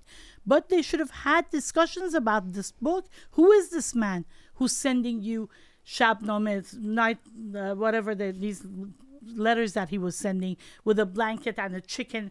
Uh, My nan- my nanny used to say that every time she would go for her day off, there was a new uh, letter from Khomeini that they was was being distributed. So they were they were spending money distributing his messages. They should have read those Shabnames. They should have discussed what's going on. They didn't. This was a flaw. Yeah. You know. Well, in Neauphle-le-Château, I think uh, when Khomeini went to Neauphle-le-Château uh, after Najaf, you know, no one, uh, or he, he said that when the revolution happens and the revolution is happening, uh, when the Shah leaves and I go back, I'm going to ba- go to Qom and I'm just going to be an advisor. So basically, he lied. He lied to everybody around him. Mm. He also never said that women have to wear the hijab. Everything changed. He saw m- millions of people in the st- you know in the streets in his support, and he said, "This is it. You know, we we we, we have to, uh, you know, I have I have the power to do you know exactly what I wrote in my book 25 years, 30 years ago. So you know it. You know, this is what revolutions do. You know, in Unfortunately, that's why we have to be careful that people who promise us stuff, not necessarily when they come back to, to power, are not going to keep those promises unless we have a constitution that's solid. That we're going to follow that constitution, and we're going to make sure that constitution is going to be followed the way that we want it to be. Otherwise, we're going to be in the same mess over and over again. the 1979 revolution would not have happened if without the support of the intelligentsia and the intellectuals and the left. We've spoken to some people about that. What kind of a role do you think the left had at the beginning, not at not later stages of the revolution, but at the beginning of the revolution and ousting the Shah? And exactly what you said, not knowing what comes after. Do you think? Uh, do you think we've learned that lesson? Do you think that's why a lot of and by left, I'm not I'm talking about, you know, social democrats, socialists, all the way to communists. Do you think there's a lesson to be taken away from there and that's kind of causing a lot of people to be afraid of what comes next? What's the next revolution? Because of the support they give to the ouster of the Shah and what came after it, the disenchantment. I mean, we spoke with Mr. Salamatian, which uh, he kind of talked about that and the fact that, that that's not what that's not what they wanted. That's not what those women wanted who were demonstrating. We didn't know about the Khomeini's plans. What kind of trauma do you think that's caused the Iranian left in in uh, being more hesitant to take action in whatever comes next You mean today? today? Yeah, I mean, um, unfortunately, I hear a lot these days uh, uh, that you know the s- f- they call them the 57 Panjo Generation. Haftam Yeah. yeah yeah right and and of course we always blame you know blame the other uh, yeah intelle- uh, the intellectual community in Iran or the the intelligentsia supported the revolution not necessarily Khomeini not at all we you know I, I i mean i was raised in a, a family that was nationalist although me and all my brothers were leftists and my father actually never liked that. But uh, you know it was the, the while the revolution or, or the events that led to the revolution were happening was happening uh, everyone everyone from all walks of life you know from different um, ethnic minorities to to to you know every you know women men uh, yeah we were all for the revolution because uh, we we we didn't like we or we didn't see that or we were i you know it's very hard for me to to put this in in, in into words but uh, there was something we were missing the something that was that we were missing was not that we didn't have uh, uh, basic uh, rights as uh, uh, you know social rights uh, you know basic rights to dress the way we wanted to you know be you know without hijab or you know go to to I don't know discos or whatever you know western things but what we missed was uh, have the right to express ourselves politically you know have uh, discussions be able to read you know whatever books that came out. All these w- were forbidden. And and unfortunately unfortunately the 1953 coup the fact that a for, foreign powers brought the shah back to iran left a terrible terrible scar on his regime if if that not had not happened perhaps just as you said if they had worked together this revolution may not have Mhm. happened I so so. we you know we did we had you know basic rights but we didn't have any political rights we couldn't have parties we couldn't have groups whereas you know after the revolution i remember uh, you know i went back to iran right after the revolution when the mehrabad airport opened. Every corner in every uh, you know neighborhood in tehran people were standing talking. We we went to demonstrations at tehran university or other universities. You know speakers were there from all sorts of you know leftists you know uh, uh, nationalists. So there was an atmosphere where for the first time you could talk you could express your opinion you can you could write in different newspapers dailies. So you know so that's what the intellectuals wanted for iran and unfortunately there everyone uh, you know became disillusioned and that's why you see that so many of these intellectuals ended up in exile.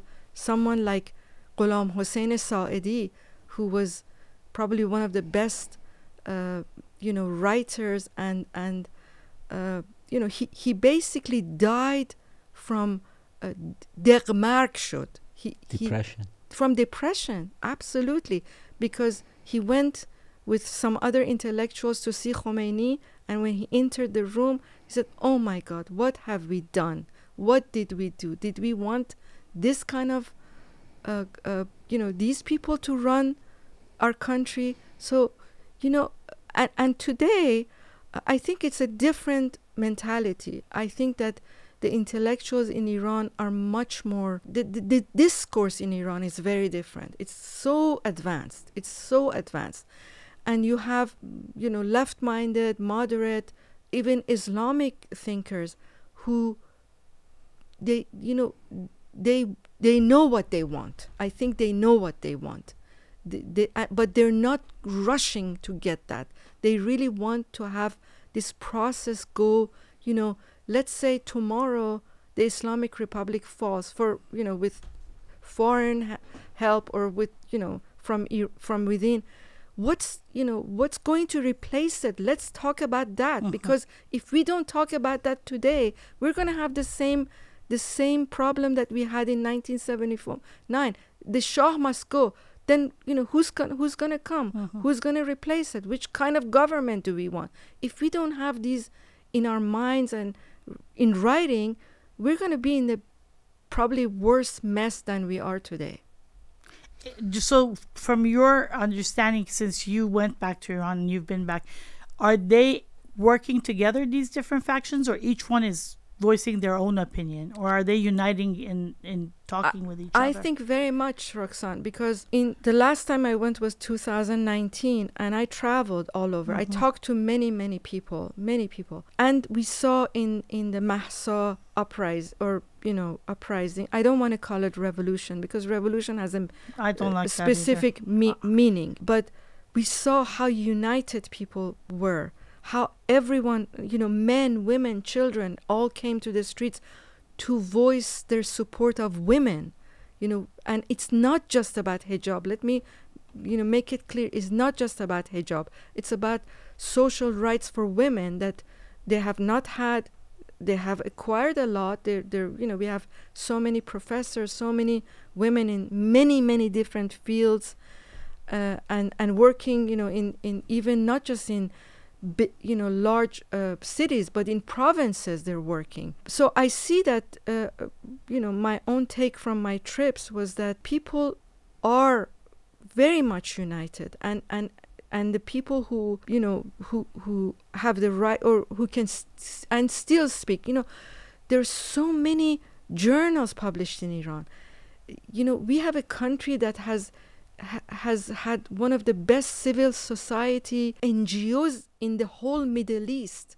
Women have been running them. So so it's a it's a country that even though it has been suppressed and oppressed, it's still very much vibrant, mm-hmm. very much vibrant.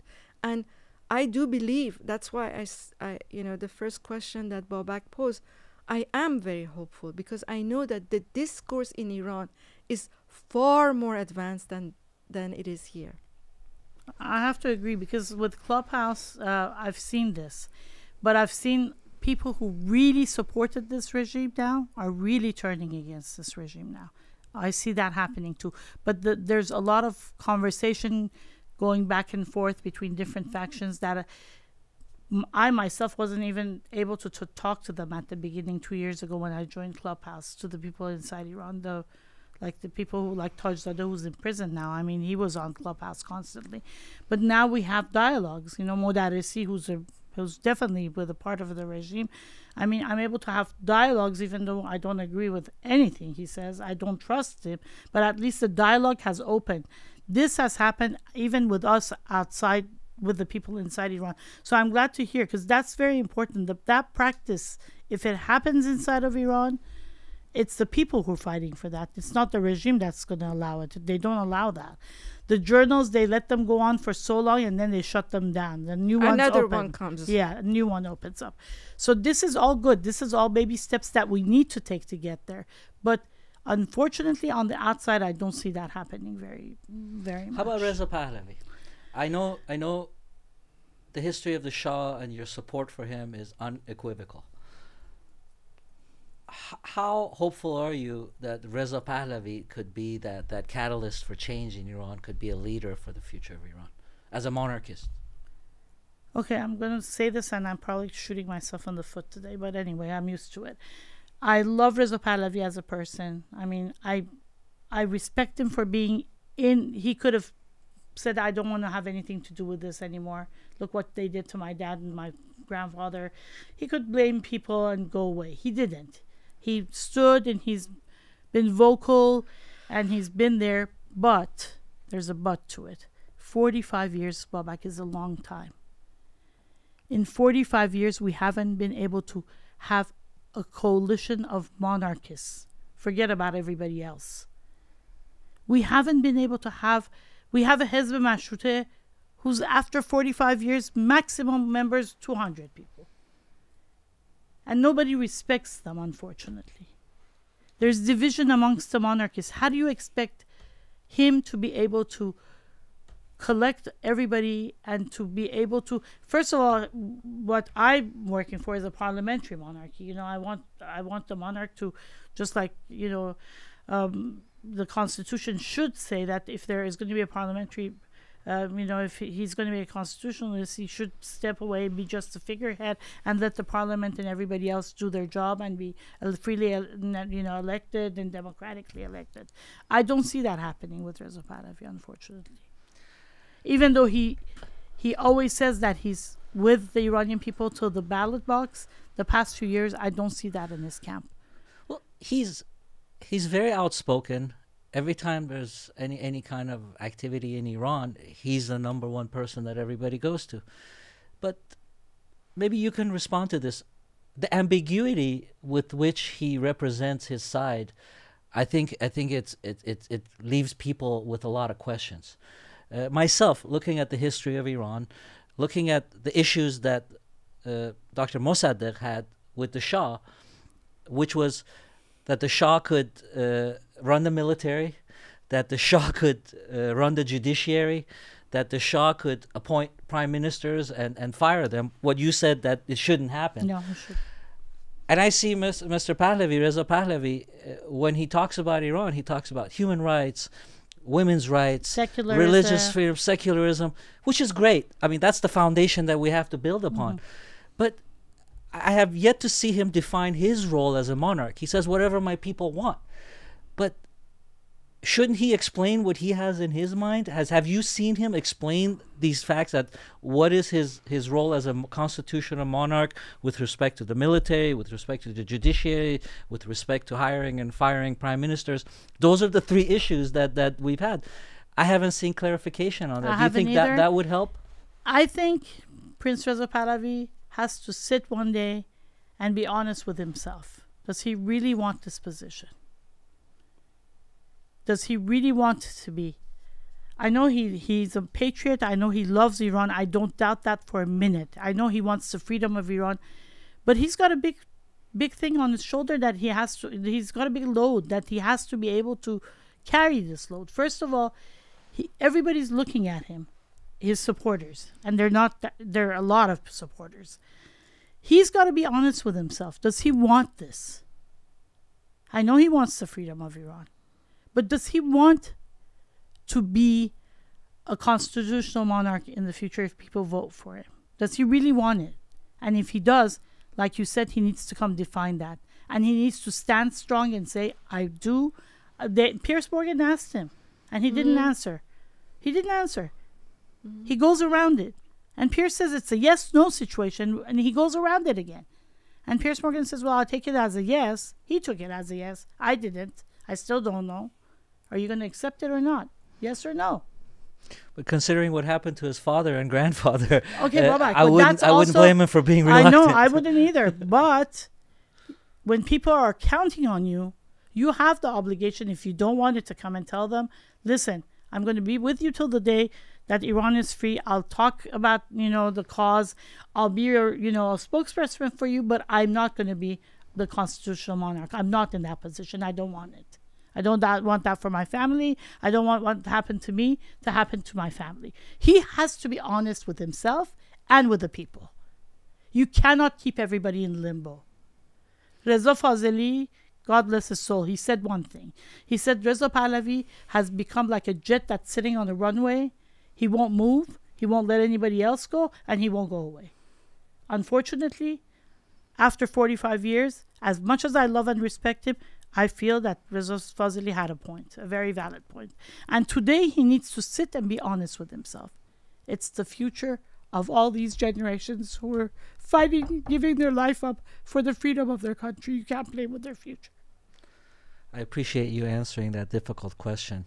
I'm going to put you in the hot seat now. not that so much. I I've can I just say something about the question that you posed to Roxanne? Sure. I do not think that you can go back in history. I think monarchy fell in, in February 1979, and we cannot go back to that. And uh, I, I do agree with everything that you said, that, you know, he has to be honest with himself. I don't think he knows where he stands or he's not telling us. And as much as all the things that he says, very very good words, Mhm. but it's not enough. Words are not enough. Yeah. And as you also said, you know, every once in a while there is an uprising, there is a movement, you know, in Iran, and he comes and then he goes and he's silent. So, you know, if you're working towards something for the future, you can't just, you know, come and then go and sit still and wait for the next episode. So, but in my opinion, monarchy is finished in Iran. We have, we've done, we've gone through that. Let me ask you a question. I've personally, I, a lot of my beliefs come from the left, and I'm talking about the left in America, the political left here. You know what what what it espouses: freedom of religion, freedom of speech, freedom in politics, f- freedom for women, the basic rights that we mm-hmm. have that humans have.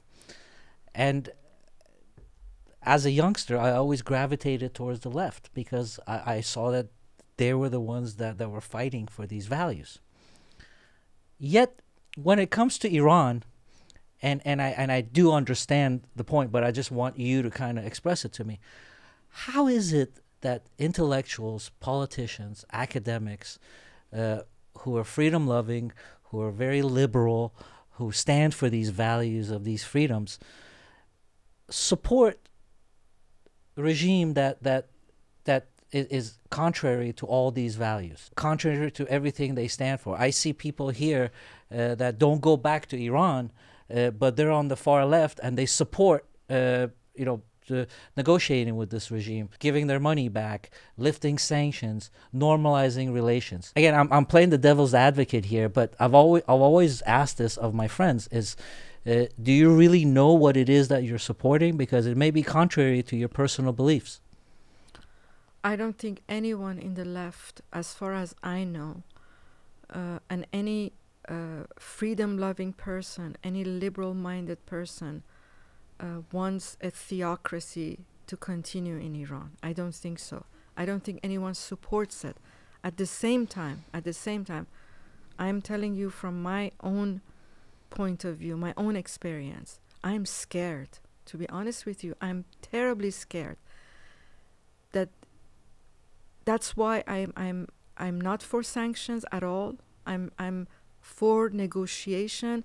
I think that change has to come slowly, not all of a sudden, because I am afraid for the future of Iran. I don't know what's going to happen. Is it going to be uh, a, a Syria and Iraq? You know, where look, look at Iraq. Look, look, look the situation. And why do the American different, you know, uh, governments, except maybe for Trump, why are they negotiating? Because, you know, they, I mean, look at the Middle East. it's it's not the Middle East. It's Middle East. It's They've in- it's muddled in- it though. yeah, of course. Well, They've they muddled it. and and the governments of those countries too. Sure. You know, yeah. uh, uh, you know, they could have given freedom. Bashar Assad could have had given some freedom to his.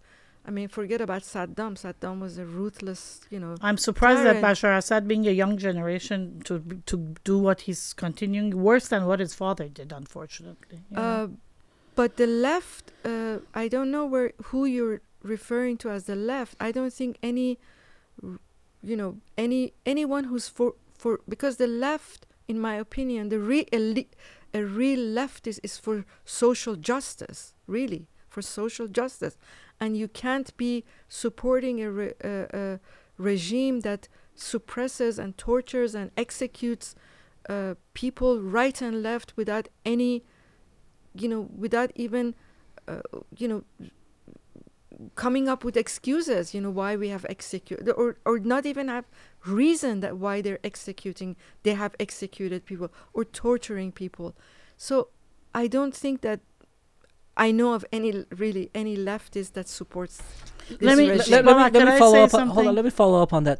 You mentioned something that that it's that fear of, of, of chaos, of destruction of Iran. I, I understand that, but at the same time, normalizing relations, lifting sanctions, giving money to uh, the a regime like that. I just want to know, in your opinion, and you said it takes time. It, it, it doesn't happen right away.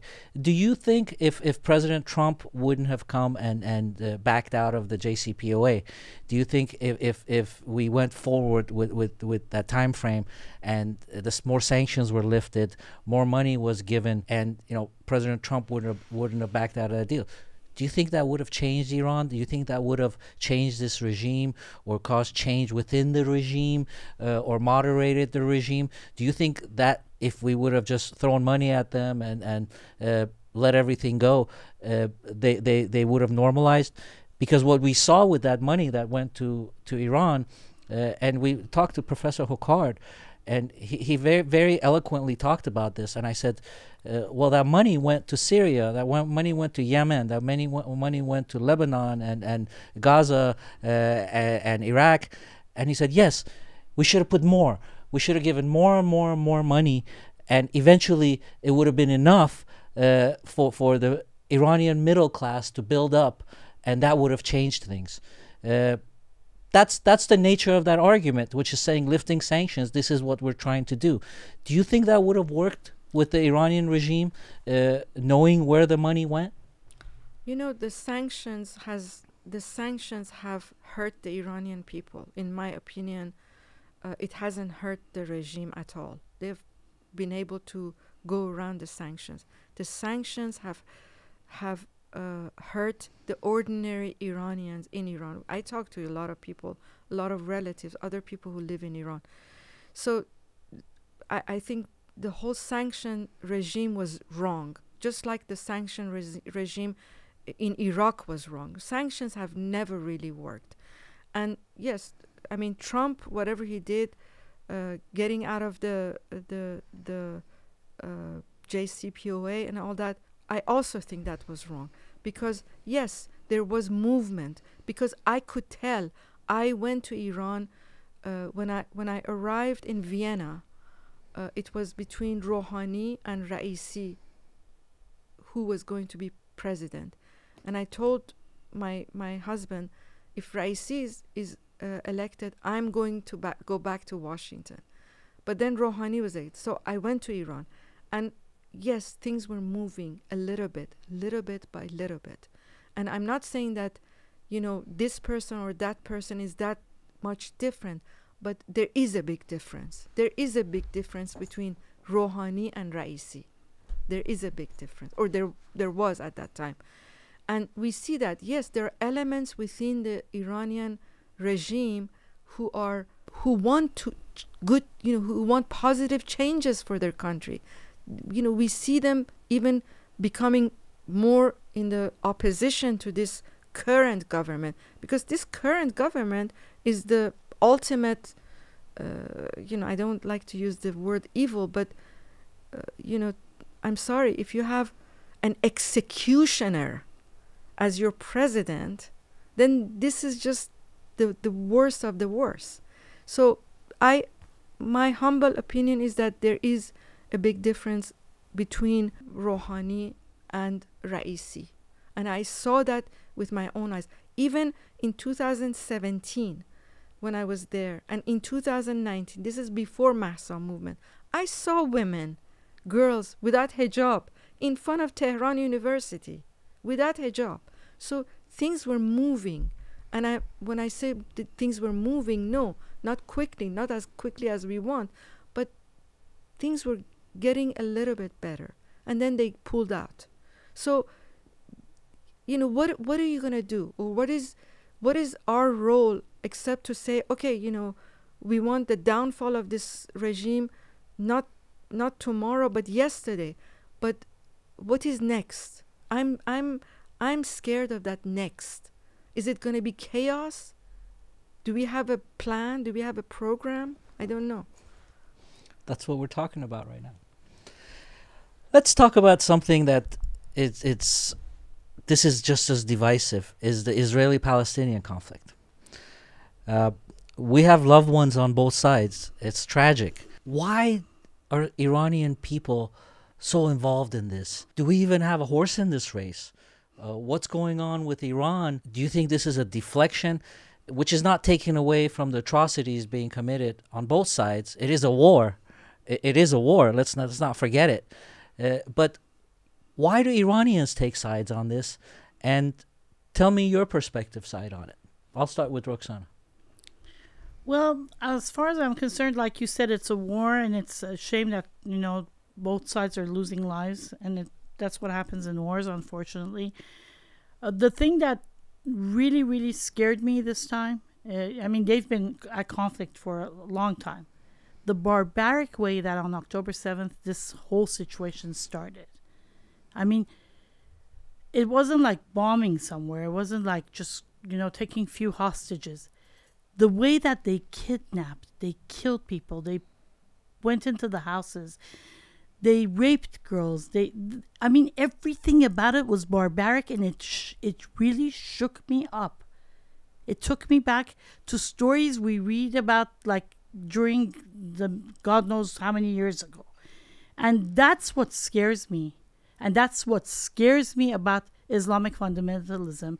And for the past forty years, thirty something years, I've watched this fundamentalism grow all over, all over the Middle East.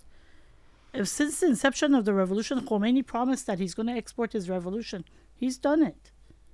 And unfortunately, everywhere's kind of kept quiet about everything that's happening. And we see it today. We see it in the universities, we see it on the streets, we see everywhere we're seeing this Islamic fundamentalism mushrooming and mushrooming and spreading. And this is dangerous. This is a very dangerous situation for the future. And that scares me. And I don't know, this is going to, I, I really hope it doesn't get very bad, but I have a feeling it's going to get really bad before it starts getting any better. I mean, as far as Israel, I know they've been at each other's throats for the past whatever many years, but they've never gone and done something like this to the Palestinians. Not, and it's not the, you know, it's Hamas. It's they're trained, funded, sponsored everything by the Islamic Republic. So, I mean, the head of the snake is really the Islamic Republic, but it's spreading all over. Look at what happened 9 11. This scares me that in our universities in Harvard, in UCLA, Berkeley, Columbia, that we're having this kind of Hamas supporters coming out and demonstrating in favor of Hamas, not in, in favor of Palestinians, in favor of Hamas. That's what scares me you can understand uh, people in the Islamic world, and, and I do agree with you in, in the atrocities that were committed in, in the horrid way that attack started. But it's just as violent going the other way right now. I mean, both ways is hard, Bobak. But the maybe I'm more harsh because I feel the threat of this Islamic fundamentalism growing throughout the world. And in a world where we're moving forward unfortunately this is moving. Even the women i ask some of these girls young girls with the hijab i'm like why? What is the difference between your hair? Kids going to berkeley ucla all these kids. What is the difference between my hair and your hair? Why do you believe that you have to you're in- you're smart intelligent people.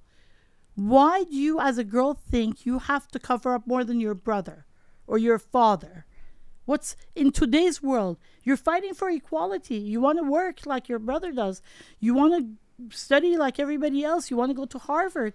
What is the difference? So some this of them, it's a personal choice. If they're not being forced yeah, into it, I think what? everybody's allowed to. I know. I, do, everybody's do what they believe. Yeah, but unless you start, this starts harming other people, and you're going to start preaching it to other people, mm. then that's going to be the danger. If it's your personal choice, it's your personal choice.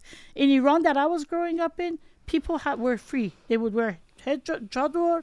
Somebody would. I never cared to wear a chador or a hijab or something. You know, my family didn't. My grandmothers did. Like one of my grandmothers wore a scarf. We all have we all yeah. have family members who wore that. as long as you're not forcing that, and this kind of blind uh, following of this is- Islamic ways, as long as you're not promoting that, I have no problem with it. But unfortunately, they're promoting this.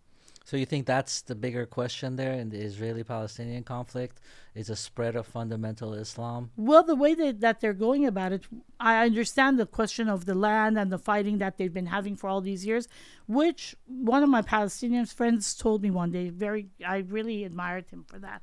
He said, "You know, we're never going to get this land back. It's a reality. It's like the Persian Empire. So much of our Persian Empire was taken back. We can't go get it back." He's like, "Let's develop our country." Look what they did on the other side. Look at their army. Look at their education system. Look at everything that they're doing. And we are still fighting with stones and rocks and digging tunnels to be able to get our land back. Let's develop, let's move on. Maybe by that, by educating ourselves, maybe we can get strong enough so that we can do make a difference and have a two two state solution back then. Until we're fighting, and this is a Palestinian saying this, until we're fighting, we're not going to have that two state solution. And I really admired him for that. But that there's not too many like him. Fariba, I know you have a differing opinion. Explain to us where you stand on this. I have very strong opinions. In fact, I argue. I've I've read your recent work, and I know you write a lot about this. That's why I wanted to. I have written. See- I have written yeah. even before that about two Jewish friends of mine that I met at a conference, and I wrote a whole um, article about that long time ago. But I think as human beings, and if we believe in social justice and the right of people to have self determination, we cannot be ignorant to what has happened uh, with the uh, with the uh, Israeli Arab uh, with the Israeli Arab conflict. And this conflict didn't start on October 7th. On October 7th, a horrific slaughter happened. I'm not sure about the rape because we don't know the details yet. We don't know the details. We just he- hear here and there women were raped. I'm not sure about that. We saw them them parading naked women through the streets, screaming. So No, uh, there was were- a t- there was a tape that th- this guy was saying, "Keep her. She's good for raping. Put this one on the bus, but Yeah, keep we- her." We, right. I mean, we've Well, seen. but those. regardless, let's atrocities, get- get- Right, yeah. atrocities Yeah. were were, but it's very interesting that most of the people who have come out uh, uh, in since October seventh, uh, whether uh, in uh, Penn Station, New York City, whether at the Liberty uh, in New York, uh, the Statue of Liberty, they're all Jewish, Jew, Jewish uh, Americans or pro uh, Jewish pro Palestinians, and they said not in our name. Why do they say not in our name? Because what's happening today? Uh, 200 and they said 230 some people were hi- uh, were um, take, taken as hostages. Hostages. Um, now the number has come down to 1,100 people were killed, were massacred during uh, on on October 7th.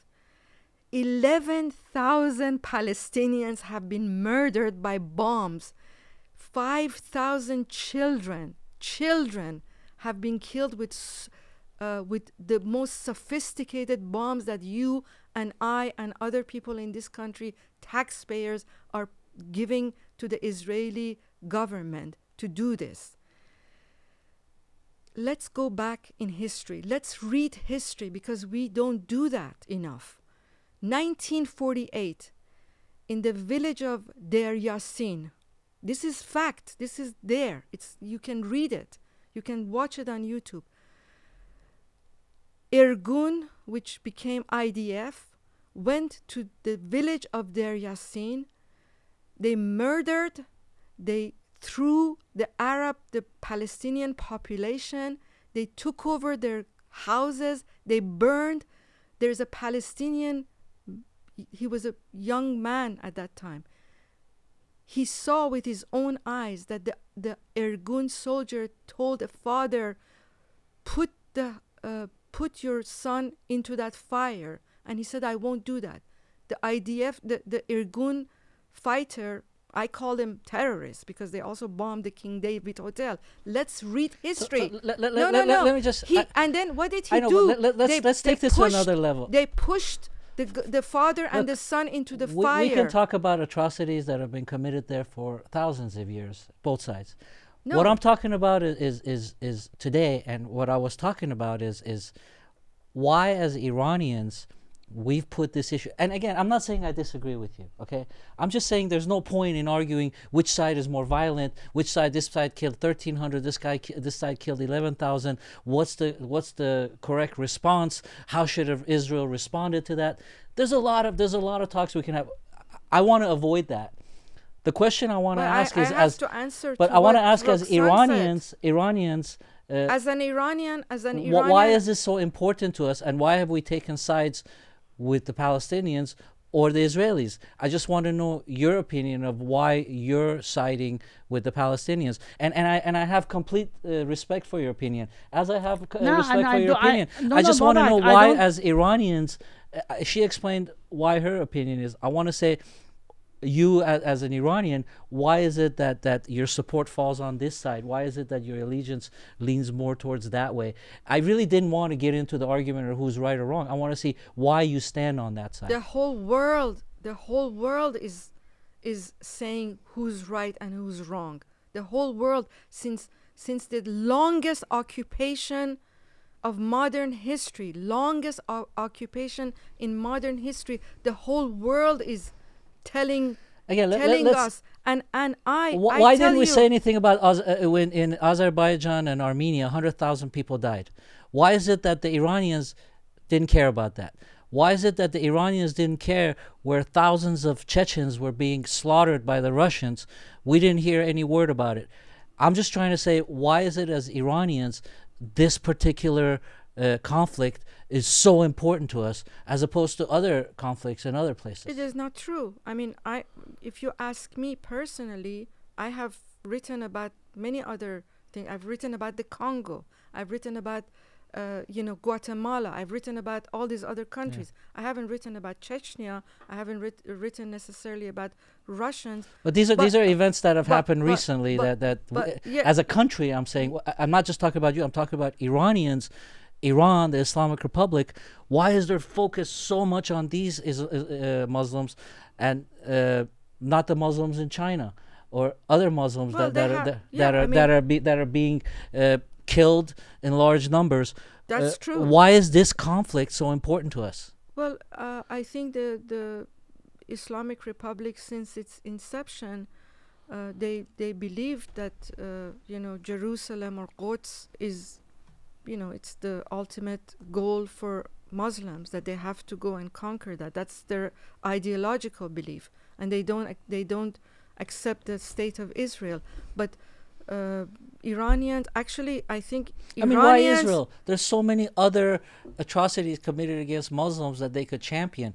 Why is it this particular because place? Israel has taken the land and and and has let you know settle you know something that Roxanne said that these are Muslim fundamentalists and you know I I don't I d- don't like them I despise them whatever uh, this Hamas you know they're terrorists and all great you know we I I think that they're also you know what they did on October 7th and before that they, they've they've engaged in terroristic you know uh, activities. But you know this is why I, I you know i believe that all of us should read more and more and more because if you don't read you don't you don't you know you don't look at the facts from all sides. Why is it that 960 palestinians were thrown out of their homes by settlers in west in the west bank when the west bank and mahmoud abbas has accepted the the, the reality of israel and the, the fact that israel is a country?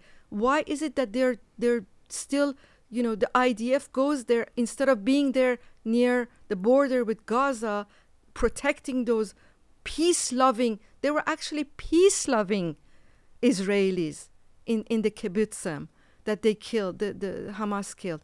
Why weren't they there at that time?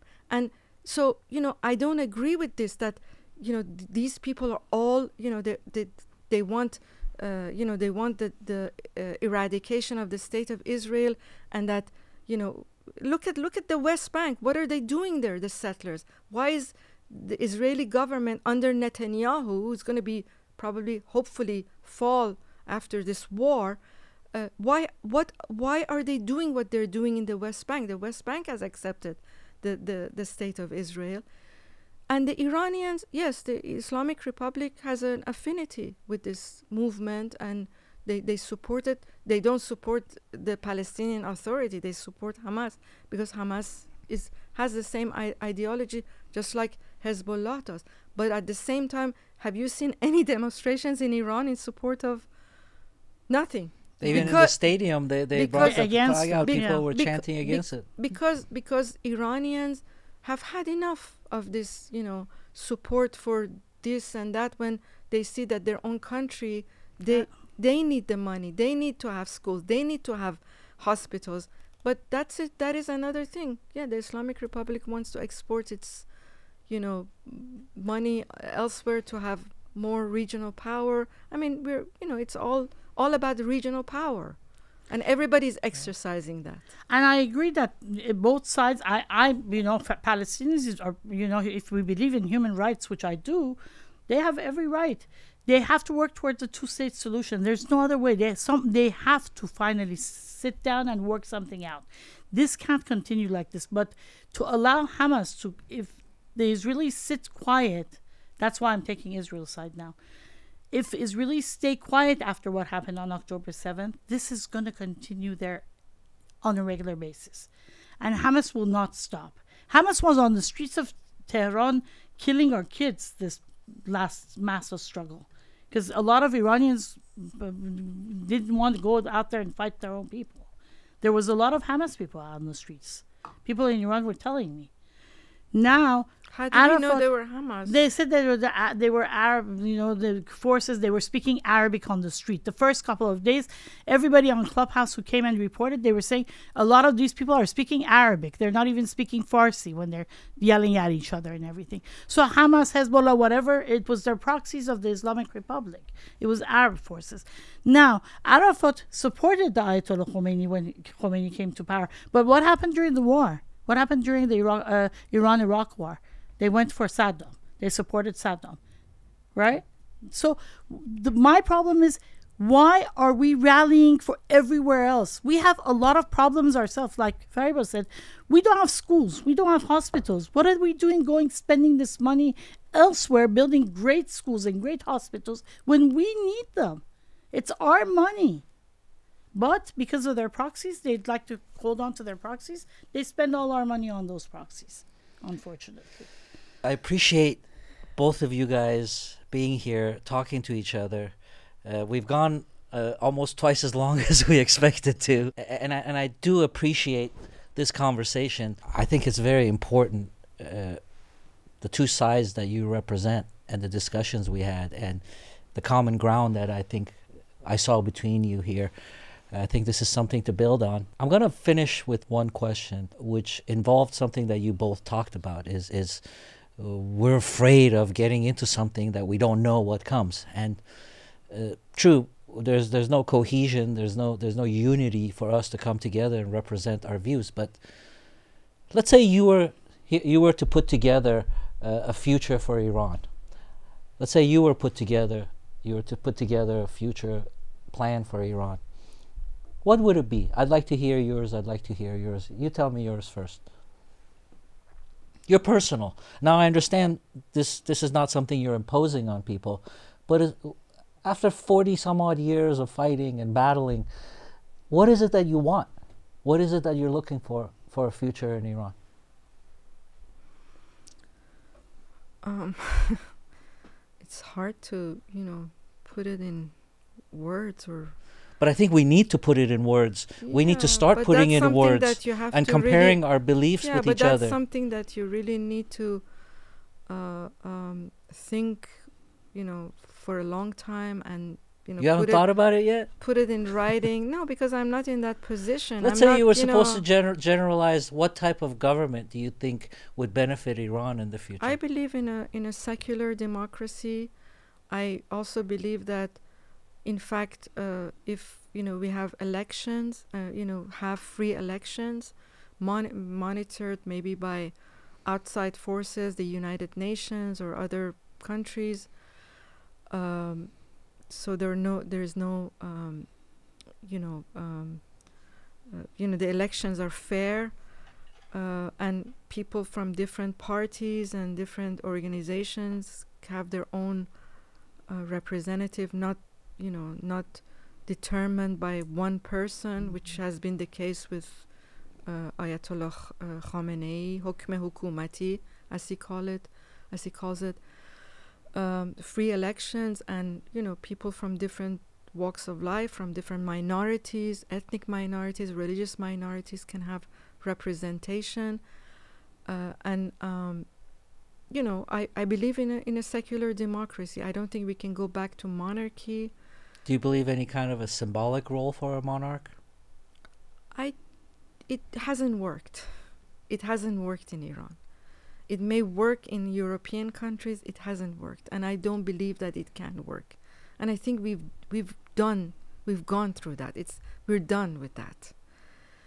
Uh, so I, I, I, I think if you know first free elections and then have good representation from different you know people who who are in Iran who are at the for have been at the forefront of this, you know, uh, movements, different movements, and um, personally, uh, I think someone like, you know, I mean, of course, it's it depends on the vote of the people, but someone like Narges Mohammadi can become the next president of Iran, voted by, you know, in in free elections. Of course, you know that's my wish, but uh, there are many. There are many people who have the potential to be leaders in Iran, who have lived in Iran, Who are in who've prison gone- now. who Yeah. have gone through imprisonment, who have been outspoken.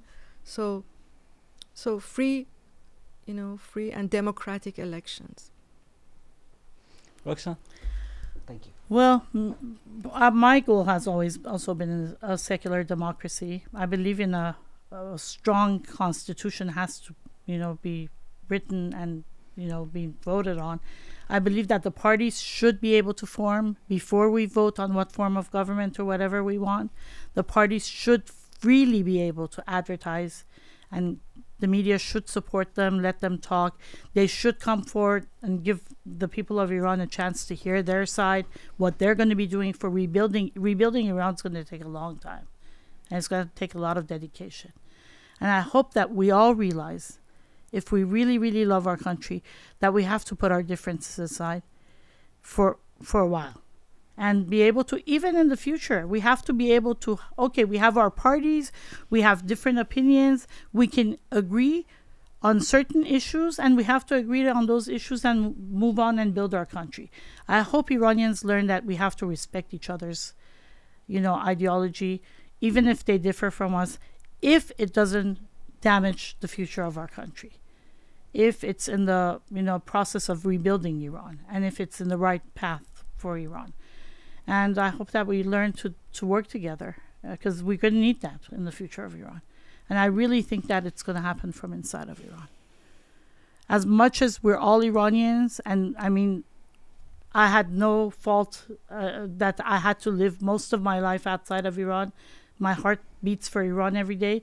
But those people who suffered, who, like Fariba said, were, were in prison, who've lived in Iran, who've gone through all the difficulties. We've gone through difficulties of exile, but it's nothing like living under the Islamic Republic. Nothing. We've had comforts of our living abroad in a democratic world and, you know, choosing what, how we want to live our life. So we have to have to respect those inside of Iran. They they are the forces that need to make that decision. I mean, we're as much Iranian as they are. We we have the right to vote, but they really went through a lot, and they really need to decide what they want for the future of Iran, because they probably know better than we do. Fariba Amini, Roxana Ganji, we appreciate your time. Thank Thank, you. you. for being with us. Thank nice meeting you, Fariba. Thank you. Thank you.